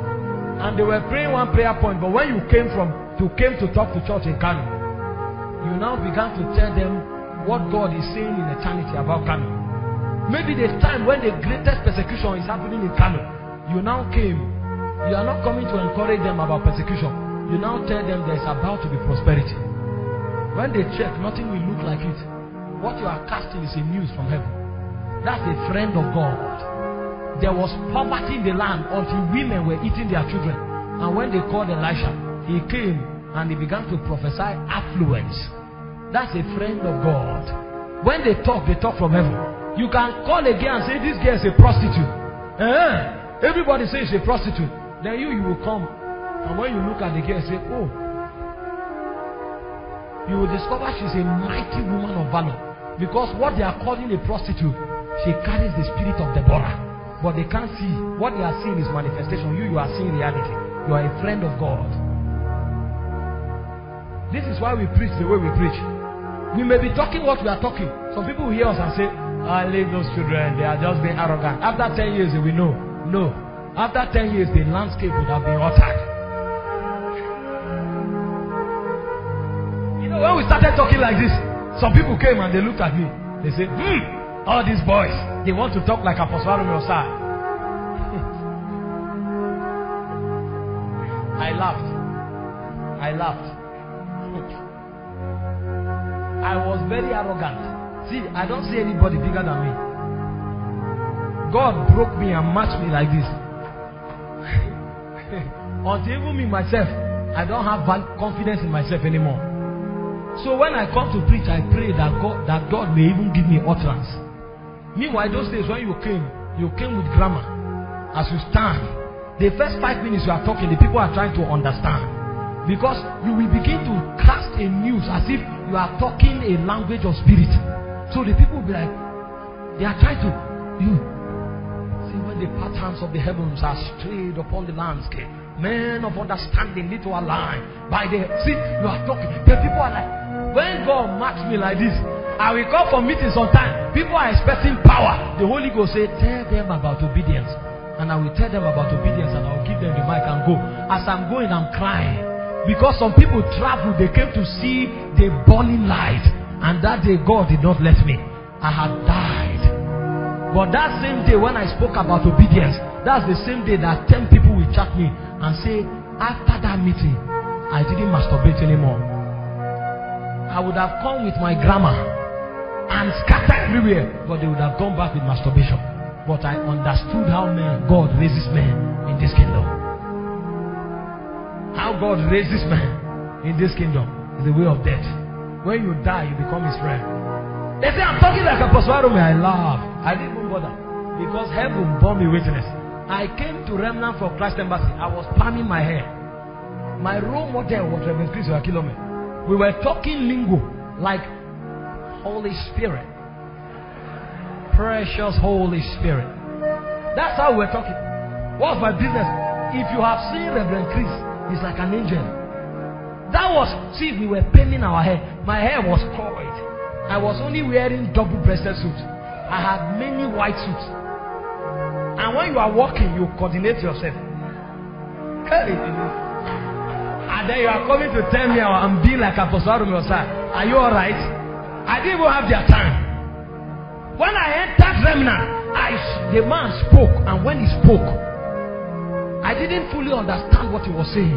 But as he was talking, it was as if the window of eternity was open. And what he was saying is as if I knew those things before I was born. The echo was coming from my spirit. I didn't plan to go there a second time, but the power drew me. The power drew me. I prayed for him for eight months non-stop. I sowed seed to him continuously for eight months non-stop. And I heard his messages for eight hours every day. Because I just graduated from the university waiting for service. Eight hours every day. His spirit entered into me like a whirlwind. I didn't even know when my tongue changed. A point came, I didn't hear him for two years because I was afraid I would lose myself until God told me, Your part is in him. And then a carnal man comes because he can't judge. You are talking like a Apostle Arome. Until somebody died by the neighborhood of Remnant. And then me and my friend went and we prayed. The person became like ice block. They started crying. We say, Shut up. We kept praying. There was a spirit of faith at work. We knew we don't have that kind of faith, but something came on us. We prayed until the person came back to life. The now said, oh, It has migrated from talking like the manifestation had begun to happen. A lady came, her leg was, was, was fractured at the knee. Three pastors prayed for her, she couldn't be healed. Until Mama said she should come and meet me. And she came and just held her leg and said, ah, ah, the angels are touching you now. And the power of God threw her from the hall outside the building. And she got instantly, she began to run around. When they saw manifestation, they now lowered their volume. Until God now came to me and said, I will begin to announce you. And then I removed five minutes of my clip, and it was in 17 nations. I can mimic talking like Apostle Arome, but can I put my messages in 17 nations? Until now, I can't even go for fellowship again for four months. I have been traveling since August. I have not spent 24 hours in Makurdi in the last 60 days. I, I had a tour of 18 days. I ended it on the 20th. I started another one on the 22nd. And I will continue like this till 9th of October. How did you do that? Did I tell you to invite me? I can come here and laugh and go back. People will be blessed. I have not preached, I have not done anything. Most people are already blessed. Do you think it's because I'm talking? A spirit is witnessing. The friend of God. You die. Then your immortal dimension begin to speak. You don't know what is locked on your inside. You thought you had a good voice. It's not about voice. The voice is just a sign that there is something about your life. The day you die, you may sing like this, and then a prophet will be born because you sang. So people will no longer hear melody. When you sing, you will activate their spirit. A healer can walk into the meeting, and because you sang, the healing anointing will come into the person's palm. And from that day, that person becomes an evangelist because you sang. When you die, your soul becomes a gate into Zion. And every time you open your mouth, God speaks through you. They didn't read about the apostles. They beat them, they flogged them, they, they molested them, and they came and they said that God may stretch his hand through their hands. They know how things work in this kingdom. It is the way of priesthood. Present your bodies as a living sacrifice. You will continue to be nothing unless you accept the burden of death. This is why the Holy Ghost will stay on that matter. He will never stop. Your own is pride. The Holy Ghost is there. Every time the pride lifts head, the Holy Ghost will fight it. This is how we grow in relationship. Growing in relationship with God is not the ability to know the whole Bible. There are many Islamic theologians that know every three word in the Bible. They are like concordances, but they don't know God. You will come under a government that will break you and then God will make you his friend. After they walked with Jesus for three years, he told them, You are no longer servants. Now you are my friend because you know the secrets of the kingdom. This is where you will come to the place of prayer and you want to pray and God overtakes you. You don't have school fees, you are crying. But every time you go to pray, God is praying for Kano through you. And then when you finish praying this intense prayer, you come outside, there is no food to even eat. And then you say, Kai, I need to pray for uh, God need to open doors, open doors. You even went for meeting. Somebody's talking about you are supposed to prosper. In this kingdom, poverty is a cost. That is a very correct doctrine. But when you went to pray, your concentration, your concentration will betray you. As you lift your voice to pray for wealth, then you hear Kano. Kano, Lord, when will you visit? When will you visit? You have become the friend of God. The secrets of heaven are breaking upon you, and they have become capsules of bodies. At that time, you are bigger than yourself and your family because you have become the reason why God can have a stake among men. This is the way of becoming mighty because influence is first of all in the spirit. A man that has no influence in the spirit have no place among men. God came on this same subject matter and he wrestled with Jacob. Do you know who Jacob is? Jacob was the custodian of the Abrahamic blessing. There was nobody on earth that carried the Abrahamic blessing, only Jacob. So God Himself have no choice but to walk with Jacob. Yet God could not use him, he could not be relevant. Imagine if you are the only believer in this world, and then you think because I'm the only believer, heaven have no choice. You know those doctrines that are peddled everywhere. They say even God now has no choice because I'm born again. Ah, no. Go and read Exodus 32. He said, I will wipe out the whole Israelite and begin a new covenant with Moses. How about the promise you made to Abraham? He is sovereign. As sovereign, he is not restricted by his laws. The laws are still there, but there are higher realms. As sovereign, If God does something that you think is a violation of His law, He's still correct. I came here by flight. The law of gravity was still intact. I came in Boeing 737. That jet weighs more than 80,000 kg. There is no way that metal can float in the air. But there are laws. The laws of gravity will forbid that metal to ever float in the air. But if you engage the law of aerodynamics, gravity will still be there. But because aerodynamics has come, a metal that weighs more than 80,000 kg can float in the air like paper. Laws. God is sovereign. Don't be deceived to think God cannot do without you. You are a joker. This is why we commit ourselves. Even our salvation, we walk it out with fear and trembling. Priesthood a spiritual legislation. A man that God does not raise cannot speak for God. God is not looking for people to, that know about Him to talk to people about Him. God is looking for witnesses. People that have experienced His life to communicate it. John said, That which was from the beginning, which we have heard, we have seen, we have looked upon, and our hands have handled. He said, That is what we are committing to you. And we are not teaching you something so that you too you go and say. He said, We are bringing you into fellowship with the Father.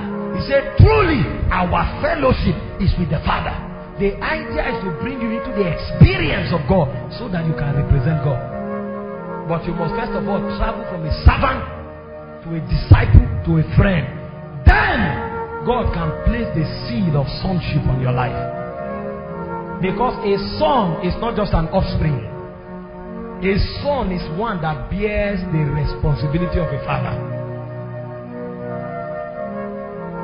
The Bible said in Galatians 4:1, it said the heir, so long as he's a child, differeth nothing from a servant, even though he's Lord of all. You can be the only believer in this world, but you'll be a servant. He said, therefore, the father, this is not a demon, the father places him under tutors and governors until the time appointed of the father. Sonship is an investment to those who are mature. Sonship is an investment to those who are mature. You can be born of God, but you will be a servant. God Himself will place you under tutors and governors until the time appointed of Him. This is why many of us call ourselves names and many things, but nothing seems to be happening. Somebody preached, you came and preached. Your own preaching is 10,000 times sound and more impactful than his own, but he's the one that the nations are calling for. That should educate you that it's not about intelligence in preaching, it's about communication of the spirit and life. Jesus said, The words I speak, they are spirit, they are life. We reduce the spiritual to the mundane.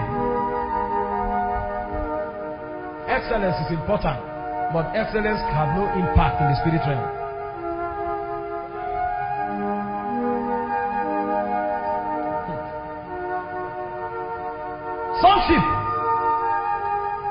In the Greek, there are three names Teknon, Nepios, and Huios. Galatians 4:1 is a Nepios. He is the heir of God, but he is weak in understanding. He doesn't know how the kingdom works. So responsibility can be given to him. He may even come to a level where anything he asks for, he receives. So he has 10 testimonies every Sunday. And you say, hey, is it only Sister Anne that God knows? Sister Anne is a babe. What Sister Anne is praying for, even if you want to, you can't pray for it. Because at your level now, God has the power to arrest your vocal cord. Even when you want to pray for money, God will forbid you. Paul was the one teaching people prosperity. But Paul was going to Jerusalem. He came to a city, seven men spoke by the Spirit and said, Do not go to Jerusalem. Paul said, I go to Jerusalem bound in the Spirit. So I'm not even going to Jerusalem because it's my choice. I'm a prisoner of God. He was teaching prosperity, but he was a prisoner of God. Because God said, You must witness for me before kings. Purpose became a government over his soul. You know, God wants to use you you must follow this route. This is why things are not working. Don't be quick to start crying. Find out. Because some of the things you call crisis, they are actually syllabus in the school of the spirit. But you have not discerned that you are a student in the school of the spirit. And this thing has nothing to do with age. At the age of 17, David defeated Goliath because he was schooled. When Saul gave him his own armor, he said, No, this one I'm used to it. He was schooled. God may walk on your tongue and school your tongue and place government there because everything you say, He wants to perfect it. That's your power. He said, I'm schooled in this one. At the age of 17, Paul left Timothy in Ephesus. He was ordaining elders in Ephesus at the age of 17. Who told you you are too young? You were deceived. Go to America. You see general overseers that are your younger brothers.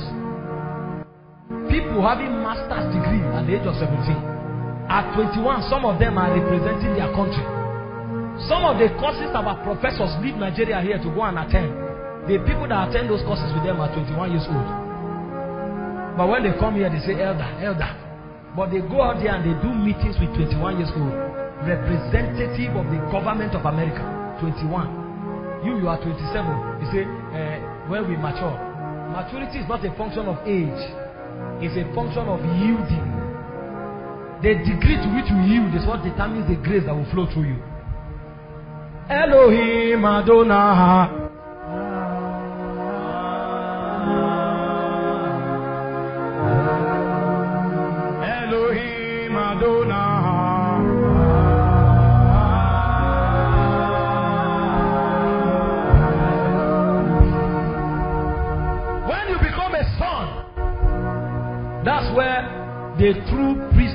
Assignment begins. There are two dimensions of sonship in this kingdom. One is priesthood, another one is kingship. The reason God will take you through this route is because matters of kingdom there are warfares involved. If you are not built up, you will be cut off in warfare, and there's nothing God can do. Because the parameter for judging warfare is the laws of the spirit. So God will shave your excesses until you are able to walk in alignment with the laws of the spirit before he releases you. Priesthood begins after you have become a son. Legislation and litigation. I will talk to us about legislation and litigation tomorrow. Because what I want to share is heavy. For tonight, I want us to first of all take time and pray and contemplate on what we can let go for God. All we were taught is to receive from God. That's why the church is growing in membership, but citizens of Zion are few. All we are taught is the faith that receives, not the faith that gives.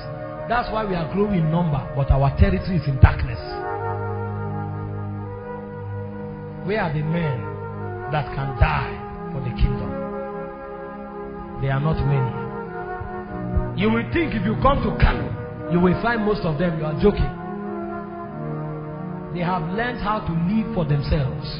Because all we hear now is self preservation, self exhortation, self preservation, self aggrandizement.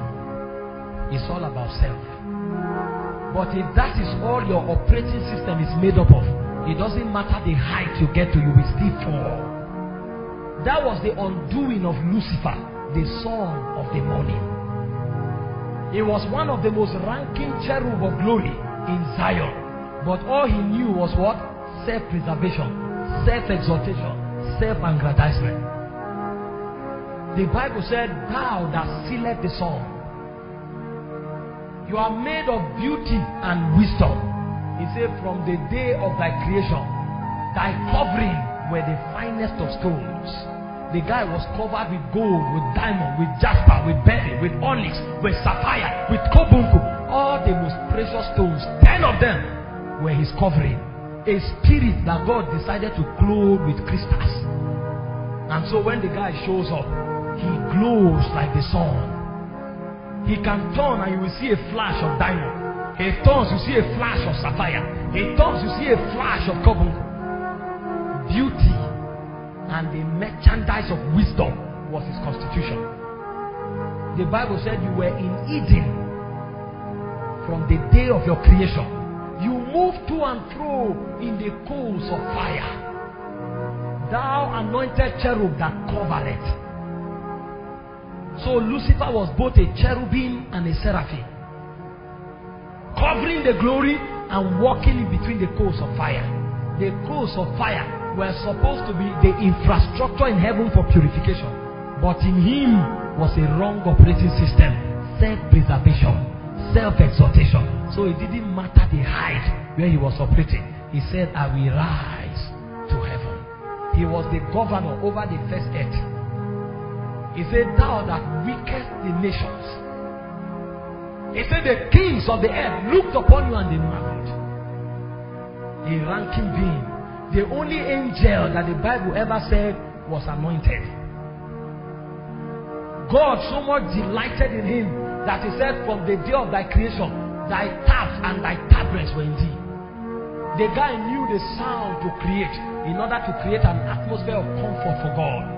So he was the custodian of worship and melody in Zion. He was the angel in charge of the mysteries of sound. Meanwhile, heaven is regulated by sound and light. He was the son of the morning and he was the keeper of sound. So he was like the angel of the heavens. That was why he thought he was greater than the Michael and the Gabriel. The keeper of sound and the keeper of light. These are the two major things that regulate heaven. Everything in heaven has light fused into it, and everything in heaven is regulated by sound. Lucifer was a keeper of sound, a reflector of light, the only angel that was called an anointed cherub. The only one that walked in the midst of the coals of fire. So he had intimacy with God. He could perceive the mind of God. He could walk into the heart of God and draw out inspiration consistent with what God desired per time. But his operating system was what? Self preservation, self exaltation, and self aggrandizement. Not too long, he said, I will ascend. A point came when he was no longer satisfied because it was all about self and he fell from heaven. Even God himself lamented. He said, Oh, Lucifer, how art thou fallen? That was a wasted divine investment. If you are not taught the gospel of the kingdom, you and your gift will be a wasted divine investment. The gospel of grace is a revelation of what God has done for humankind. The gospel of the kingdom is what humanity owes God as a responsibility to do for him so that his ways can be known among men. What can you lay down on the altar? That's the value of your life. A man that gives his life will receive the life of God as an exchange. What can you lay down? Before we begin to scream and shout, let's find out our stature in the spirit. You want to know the weight of a man? Go and check his offering. What can he give? What can he give? What can he give? A man who can give his own life is bigger than this earth. The Bible says, What shall he profit a man if he gains the whole world and suffer the loss of his soul? He said, What can a man give in exchange of his soul? That means even earth is not enough. You want to be relevant in the move of God. The first point of reference is the life of death to self. This is where the devil has gotten most of us. We are anointed, we are gifted, no doubt. We are called, we are apostles, we are prophets, but we are alive in self. So God cannot do so much with us. This evening, I want to make a call for men that want to give up their life for God. I know when you gave your heart to Christ, as they called it, Meanwhile, what you actually did was to receive the life of God. Because you didn't have any life to give to God, you were dead. But after God gives you his life, he waits for you to commit it back to him. What Paul meant when he said, I am crucified with Christ. I live, yet not I, but the one that died for me. The men that can really move this kingdom forward are the men that are willing to give up their lives. If we begin to talk about blessing, about gifts of the Spirit, about impartation of mantles now, this place will scatter. But you can have the mantle of Benson Idahosa, have the mantle of Babalola, have the mantle of Pa Elton. You will still be a slave in the hands of the devil. Because whoever you yield yourself servant to obey, the servant of him you are whom you are obeying. Most of our Deborahs today, they are still dancers in the club. Most of the Mordecai's, they are Yahoo Yahoo boys making money. And the reason is because no one of us have this thing of eternity to cry and bring them back to the kingdom. What they carry in their spirit, if they hear a man that carries the same thing, when that man cry, they will hear him. Most of us, the reason we came into the kingdom was because we heard the echoes of lions and we knew we were lions. Religion could not move us. All this could not move us. We were people of reality. And the day we saw a man with reality, we gravitated in their direction. If Mordecai will come, then the Mordecai here must first of all arise. If Deborah will come, then the Deborah here must first of all arise.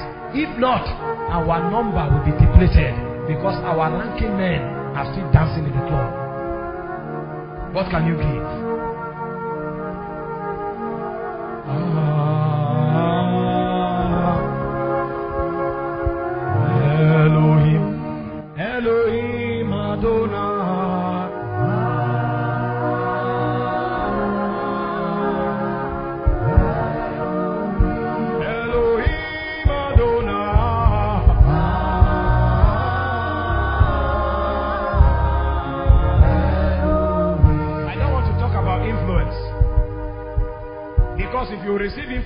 you are not yet dead, the God of commerce will become your God.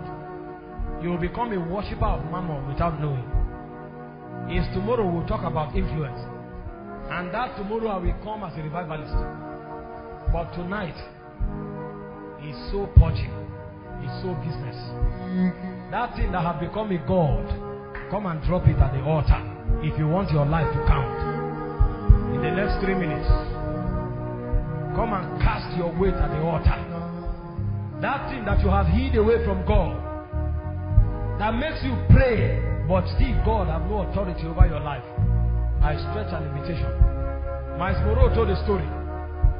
He went to a city in Zimbabwe called Harare, and the king told him a story. He said there was a, a shepherd that carried sheep to the backsides of the wilderness. And one day, as they went, he now saw a call, a young lion. He ran away, but he discovered the young lion was helpless. So he went and carried the lion. And then he took the cub home. And the cub began to grow with the sheep. Grow with the sheep. Until he became a giant lion. But every time he lived comfortably with the sheep. Because by association, that lion thought it too was a sheep. One day they went to the brook to drink water. And this lion saw its image and ran away. All the while, when he looks at the sheep, he thinks he's the one. So he saw something for the first time that revealed its true image to it. And then it ran away from itself. They came back again to another side of the wilderness. And a lion came out of the jungle. And they, both the shepherd, the sheep, and the lion that had been with the sheep ran away. Most of the men of God you see and you want to touch their feet and remove their bottom, they are your mates in the spirit. That is who you are. That's why you desire it. But the problem is that you are grown with sheep. This lion was running until the one that came from the jungle roared and he stopped.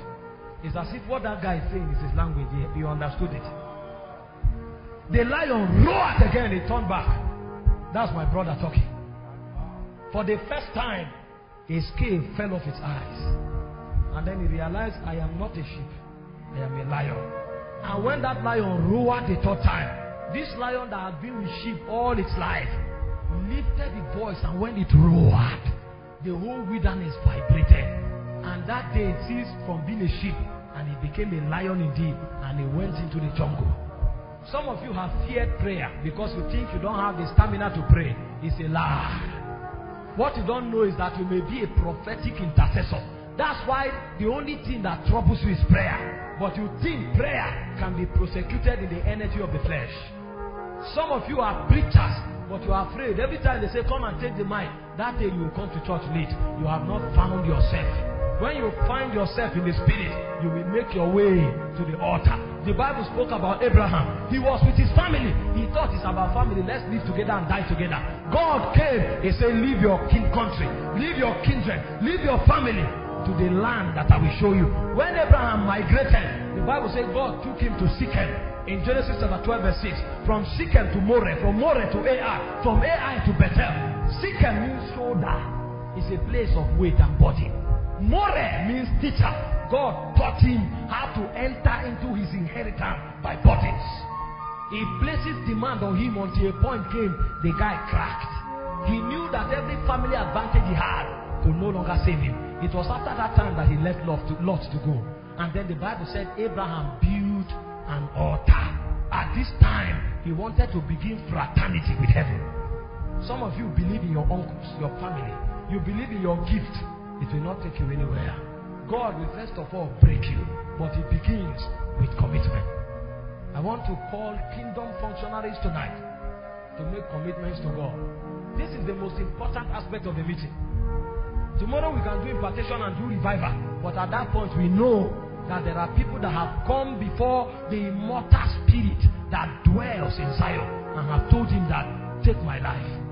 We were told stories of women like Kathryn Kuhlman. She said, God, if you can use nothing, use me. I have nothing to offer but myself. Those are the people that shape the foundations of their world. The Bible said, through faith, they subdued kingdoms they wrought righteousness.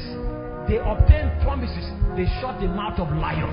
They shut the fire. They quenched the violence of fire. He said, weak men were made valiant in strength. And he said, they put to flight the armies of the alien. Some of them were weak men. But when they came to God, God did something to their inside. And suddenly, the feeble-hearted guy became a prophet.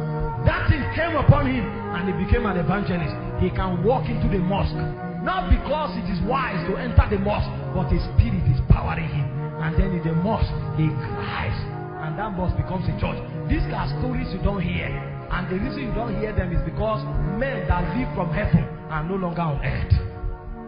This is why people in those days will enter into caves of captivity to preach the gospel. The story of the Moravian brothers, they sold themselves as slaves. There was no way they could enter France. The only way they could enter France was to sell themselves as slaves, collected the money, gave for charity, and they carried them into France as slaves. They knew that so long as they touched the city, the land comes under the government of God. I heard stories of men like Elton. If he comes to Kano, he doesn't need to preach.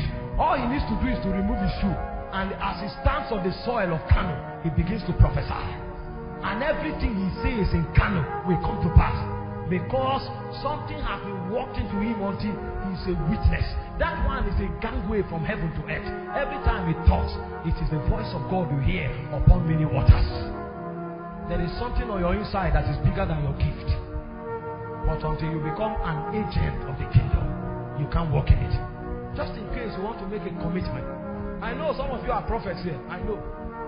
But if you don't want to be a prophet only in your fellowship, there is something you will drop on the altar. They started calling me apostle over seven years ago.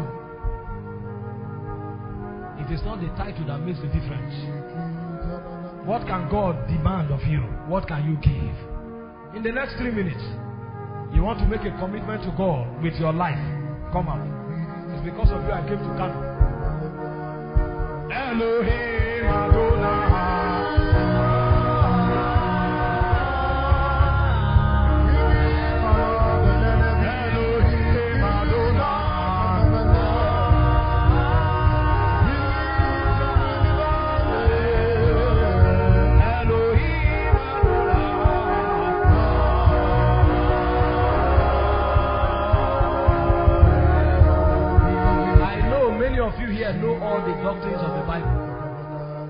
Doctrines don't make men. It's your consecration that will make you. No man is made by doctrine. Consecration is what makes men in this kingdom. God is looking to raise an army in this generation. You want to be part of that army? Go ahead and submit your life to God now. Tell him. This is not to make a man a poor man. That's not the idea. But this is coming to a place where whatever God demands, you can give him. Paul said, I have known how to abound and to abase. I know poverty, I know plenty. He said, I can do all things through Christ which strengthens me. You cannot do all things unless you know how to abound and to abase. If all you know is how to hinge to prosperity, you will not amount to much in this kingdom. As we begin to pray now, some of you will find yourself crying. Oh. The angels will begin a strange ministration. I always tell people it's not about the sound, not the volume, it's the supply of the spirit. If it's about the sound, if you leave the fellowship, the sound ends. But there is a song of song that plays in our spirit man where we know the waters of life that flows from the throne and make it glad the city of God. Make contact with Zion. Spirits walk from the point of your concentration. Tell the Lord, use me for your glory. I submit everything to you. I refuse to have right over everything I have. Everything I have, it, belongs to you. I am only a trust. I'm a trust. Will you commit your anointing? I'm a trust. It's not for my benefit. Will you give me money? It's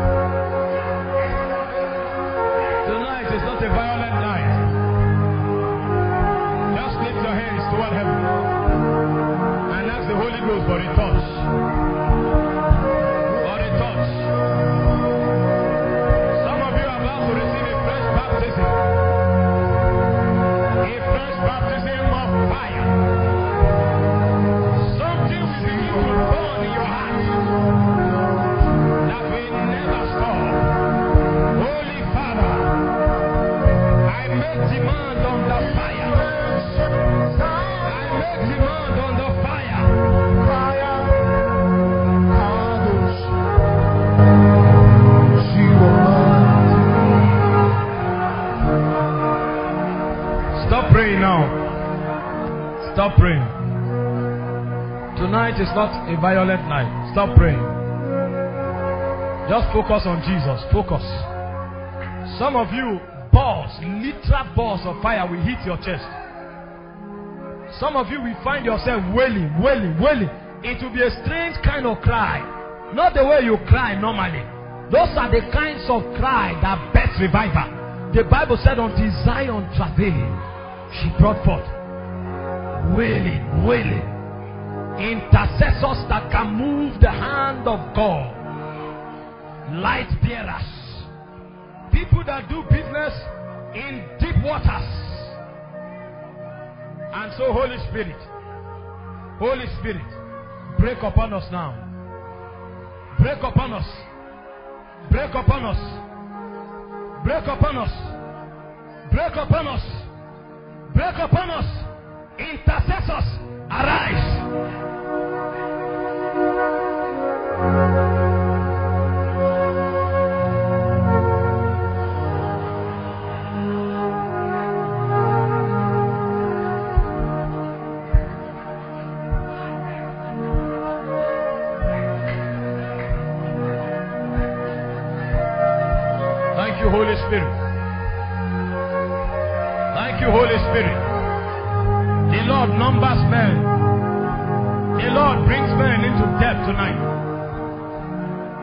Numbers men. Ordinations call. Ordinations. Ordinations. Ordinations. Ordinations. Ordinations.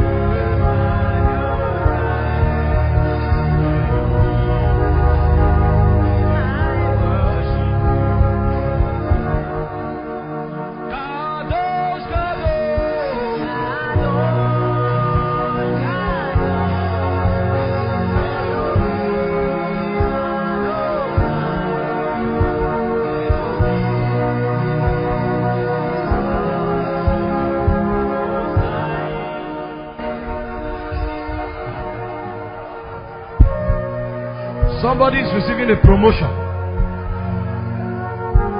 Somebody is receiving a spiritual promotion.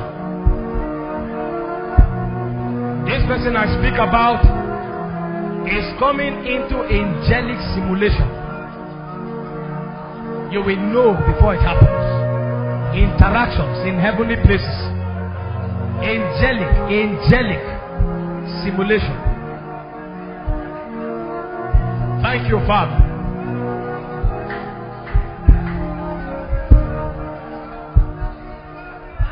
In the name of Jesus. Just be calm, be calm, be calm, be calm. Lord, the one that you are bringing this promotion, let your hand come upon that one. And let that alignment pattern be established. Holy Spirit, Holy Spirit, Holy Spirit, bring that activation now. Bring that activation now. Bring that activation. Bring that activation. Ushers, just watch a bit. This one will be a bit violent. I didn't intend that for today. Anybody that the hand of God is already on, just quickly guide so that uh, we keep the decorum. Activation, activation, activation, activation, activation. Thank you, Father. God wants to pour oil in somebody's palm. This is a sign that is giving you authority against the demonic realm. Whatever the contradiction is in the lives of people, your hand carries the cure. Father, whoever it is you are anointing now, in this calm but highly intense atmosphere, let that oil begin to drop on that person. The oil, the oil, the oil. In fact, you will feel the sensation. You will feel it. You will feel it. The oil, the oil of activation to frustrate the works of the devil. Precious Father, let that oil drop now. Let the oil drop now. I release it in the name of Jesus. In the name of Jesus. In the okay, the Lord has said. The oil drops.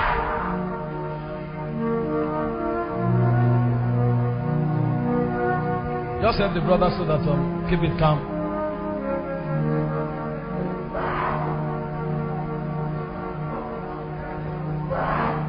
There are three of you here. You have seen visions, visions, where you were warring against creatures that are aliens. Warring against aliens in your visions. Just wave at me. Wave at me. I'm seeing three hands. One, two. Where's the third person? Wave at me. Okay. Just lift your hands toward heaven. You are part of the army that God is raising. Meanwhile, it's not for the people that have seen it, because you may not see, but you are part of the ordination. Sight is only an advantage. Father, there is a weight of glory that is coming upon a few of you as a sign that that army, part of you are in this congregation. Holy Spirit, let me see your face and your glory, Lord. Let me know you more.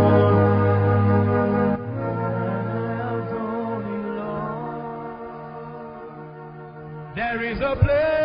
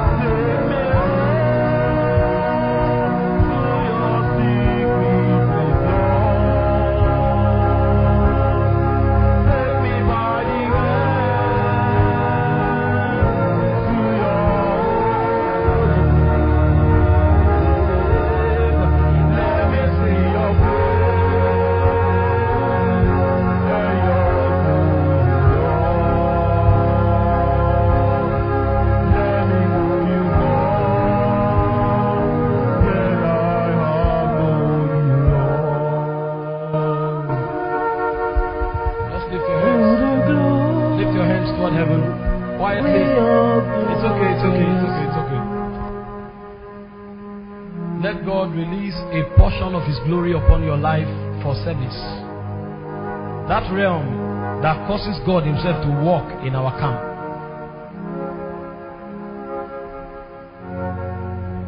Father, these ones came out because they want to commit their lives eternally to you. I ask that you release that ability of your spirit now. That ability of your spirit that makes men become warriors. Warriors. Able to stand and able to fight in the face of battle. Just be calm. Just be calm. Just be calm. The glory itself will pick you up. And your responses will be different. Your responses will be different. Some of you, it will be so heavy you can't bear it. You want to fall down. You will, you will struggle to stand. Not that you are really slain. You will bear it as a weight. Because it's a mantle of God. Lord, let the glory begin to descend on your people. Some of you will, you, you will, you will become like an imbecile. What, what's happening? You, you, you are just, what's happening to me? You don't, you are overwhelmed. It's the glory. It's the glory. It's an election of grace. Holy Spirit, Holy Spirit, Holy Spirit, Holy Spirit, Holy Spirit, Holy Spirit, Holy Spirit, Holy Spirit, Holy Spirit. Release that weight, release that weight, release that weight. Anybody that can't hold it, just help the person quietly so we don't disturb the decorum. Holy Spirit, the glory, the glory descends. The glory, the glory, the glory. Men of war, men of war, women of war, rise from our rank. Women of war, the glory, the glory, the glory is still descending like a river. It is descending. It's seeping into this place. But very soon, most of you will be drowned. You will be drowned. You will be drowned. You will be drowned. It's a move of God's Spirit. It's a move of the Spirit. It's a move of the Spirit. The glory comes. The glory comes. As the waters cover the sea. As the waters cover the sea. As the waters cover the sea. We are the ones who have numbered in our rank. Holy Spirit of God. Holy Spirit of God. Armor bearers. Men that are perfect for the war. Captains of 50. Captains of 100. Captains of thousands. Lord. Number them, number them, number them, number them, number them, number them, number them, number them, number them, number them, number them. I insist. Holy Spirit, number them, number them. Captains, captains, captains, captains, captains, captains, captains. The glory, the glory, the glory, the glory, the glory, the glory, the glory, the glory, the glory, the glory, the glory, the glory, the glory. It's coming, it's coming upon you. Most of you are elected by Zion. The seasons to shine. The seasons to shine. The glory, the glory. Oh my God.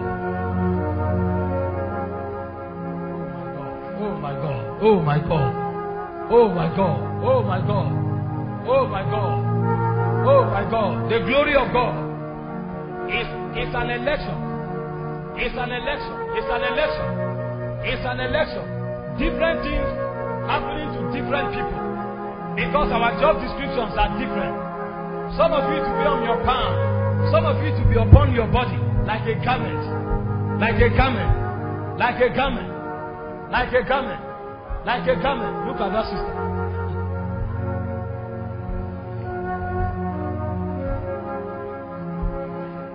Walk in ordination.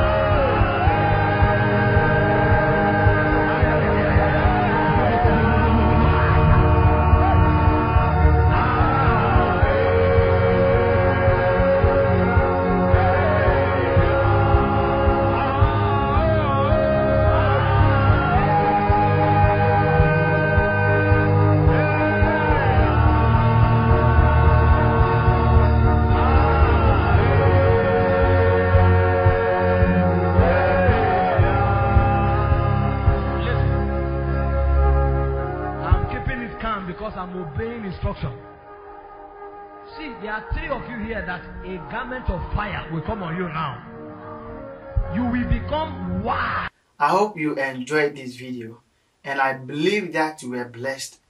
If um, you were blessed by this video, make sure that you click on the share button and share to a friend. And also make sure that you like the video so that YouTube can recommend this video to other people so that they can also be blessed by the message. If you have any question, please make sure that you contact us and we'll get back to you. And also if you are watching this video and you don't know Jesus Christ as your Lord and personal Savior, I want you to make that decision. Just contact us in the description. Call us and let us lead you to receive Jesus Christ as your Lord and personal Savior. And lastly, make sure that you subscribe to the channel and turn on the, that notification bell icon. Turn it on so that when new videos are uploaded, you can be notified. Thank you so much and see you in our next video and prayer section. Bye.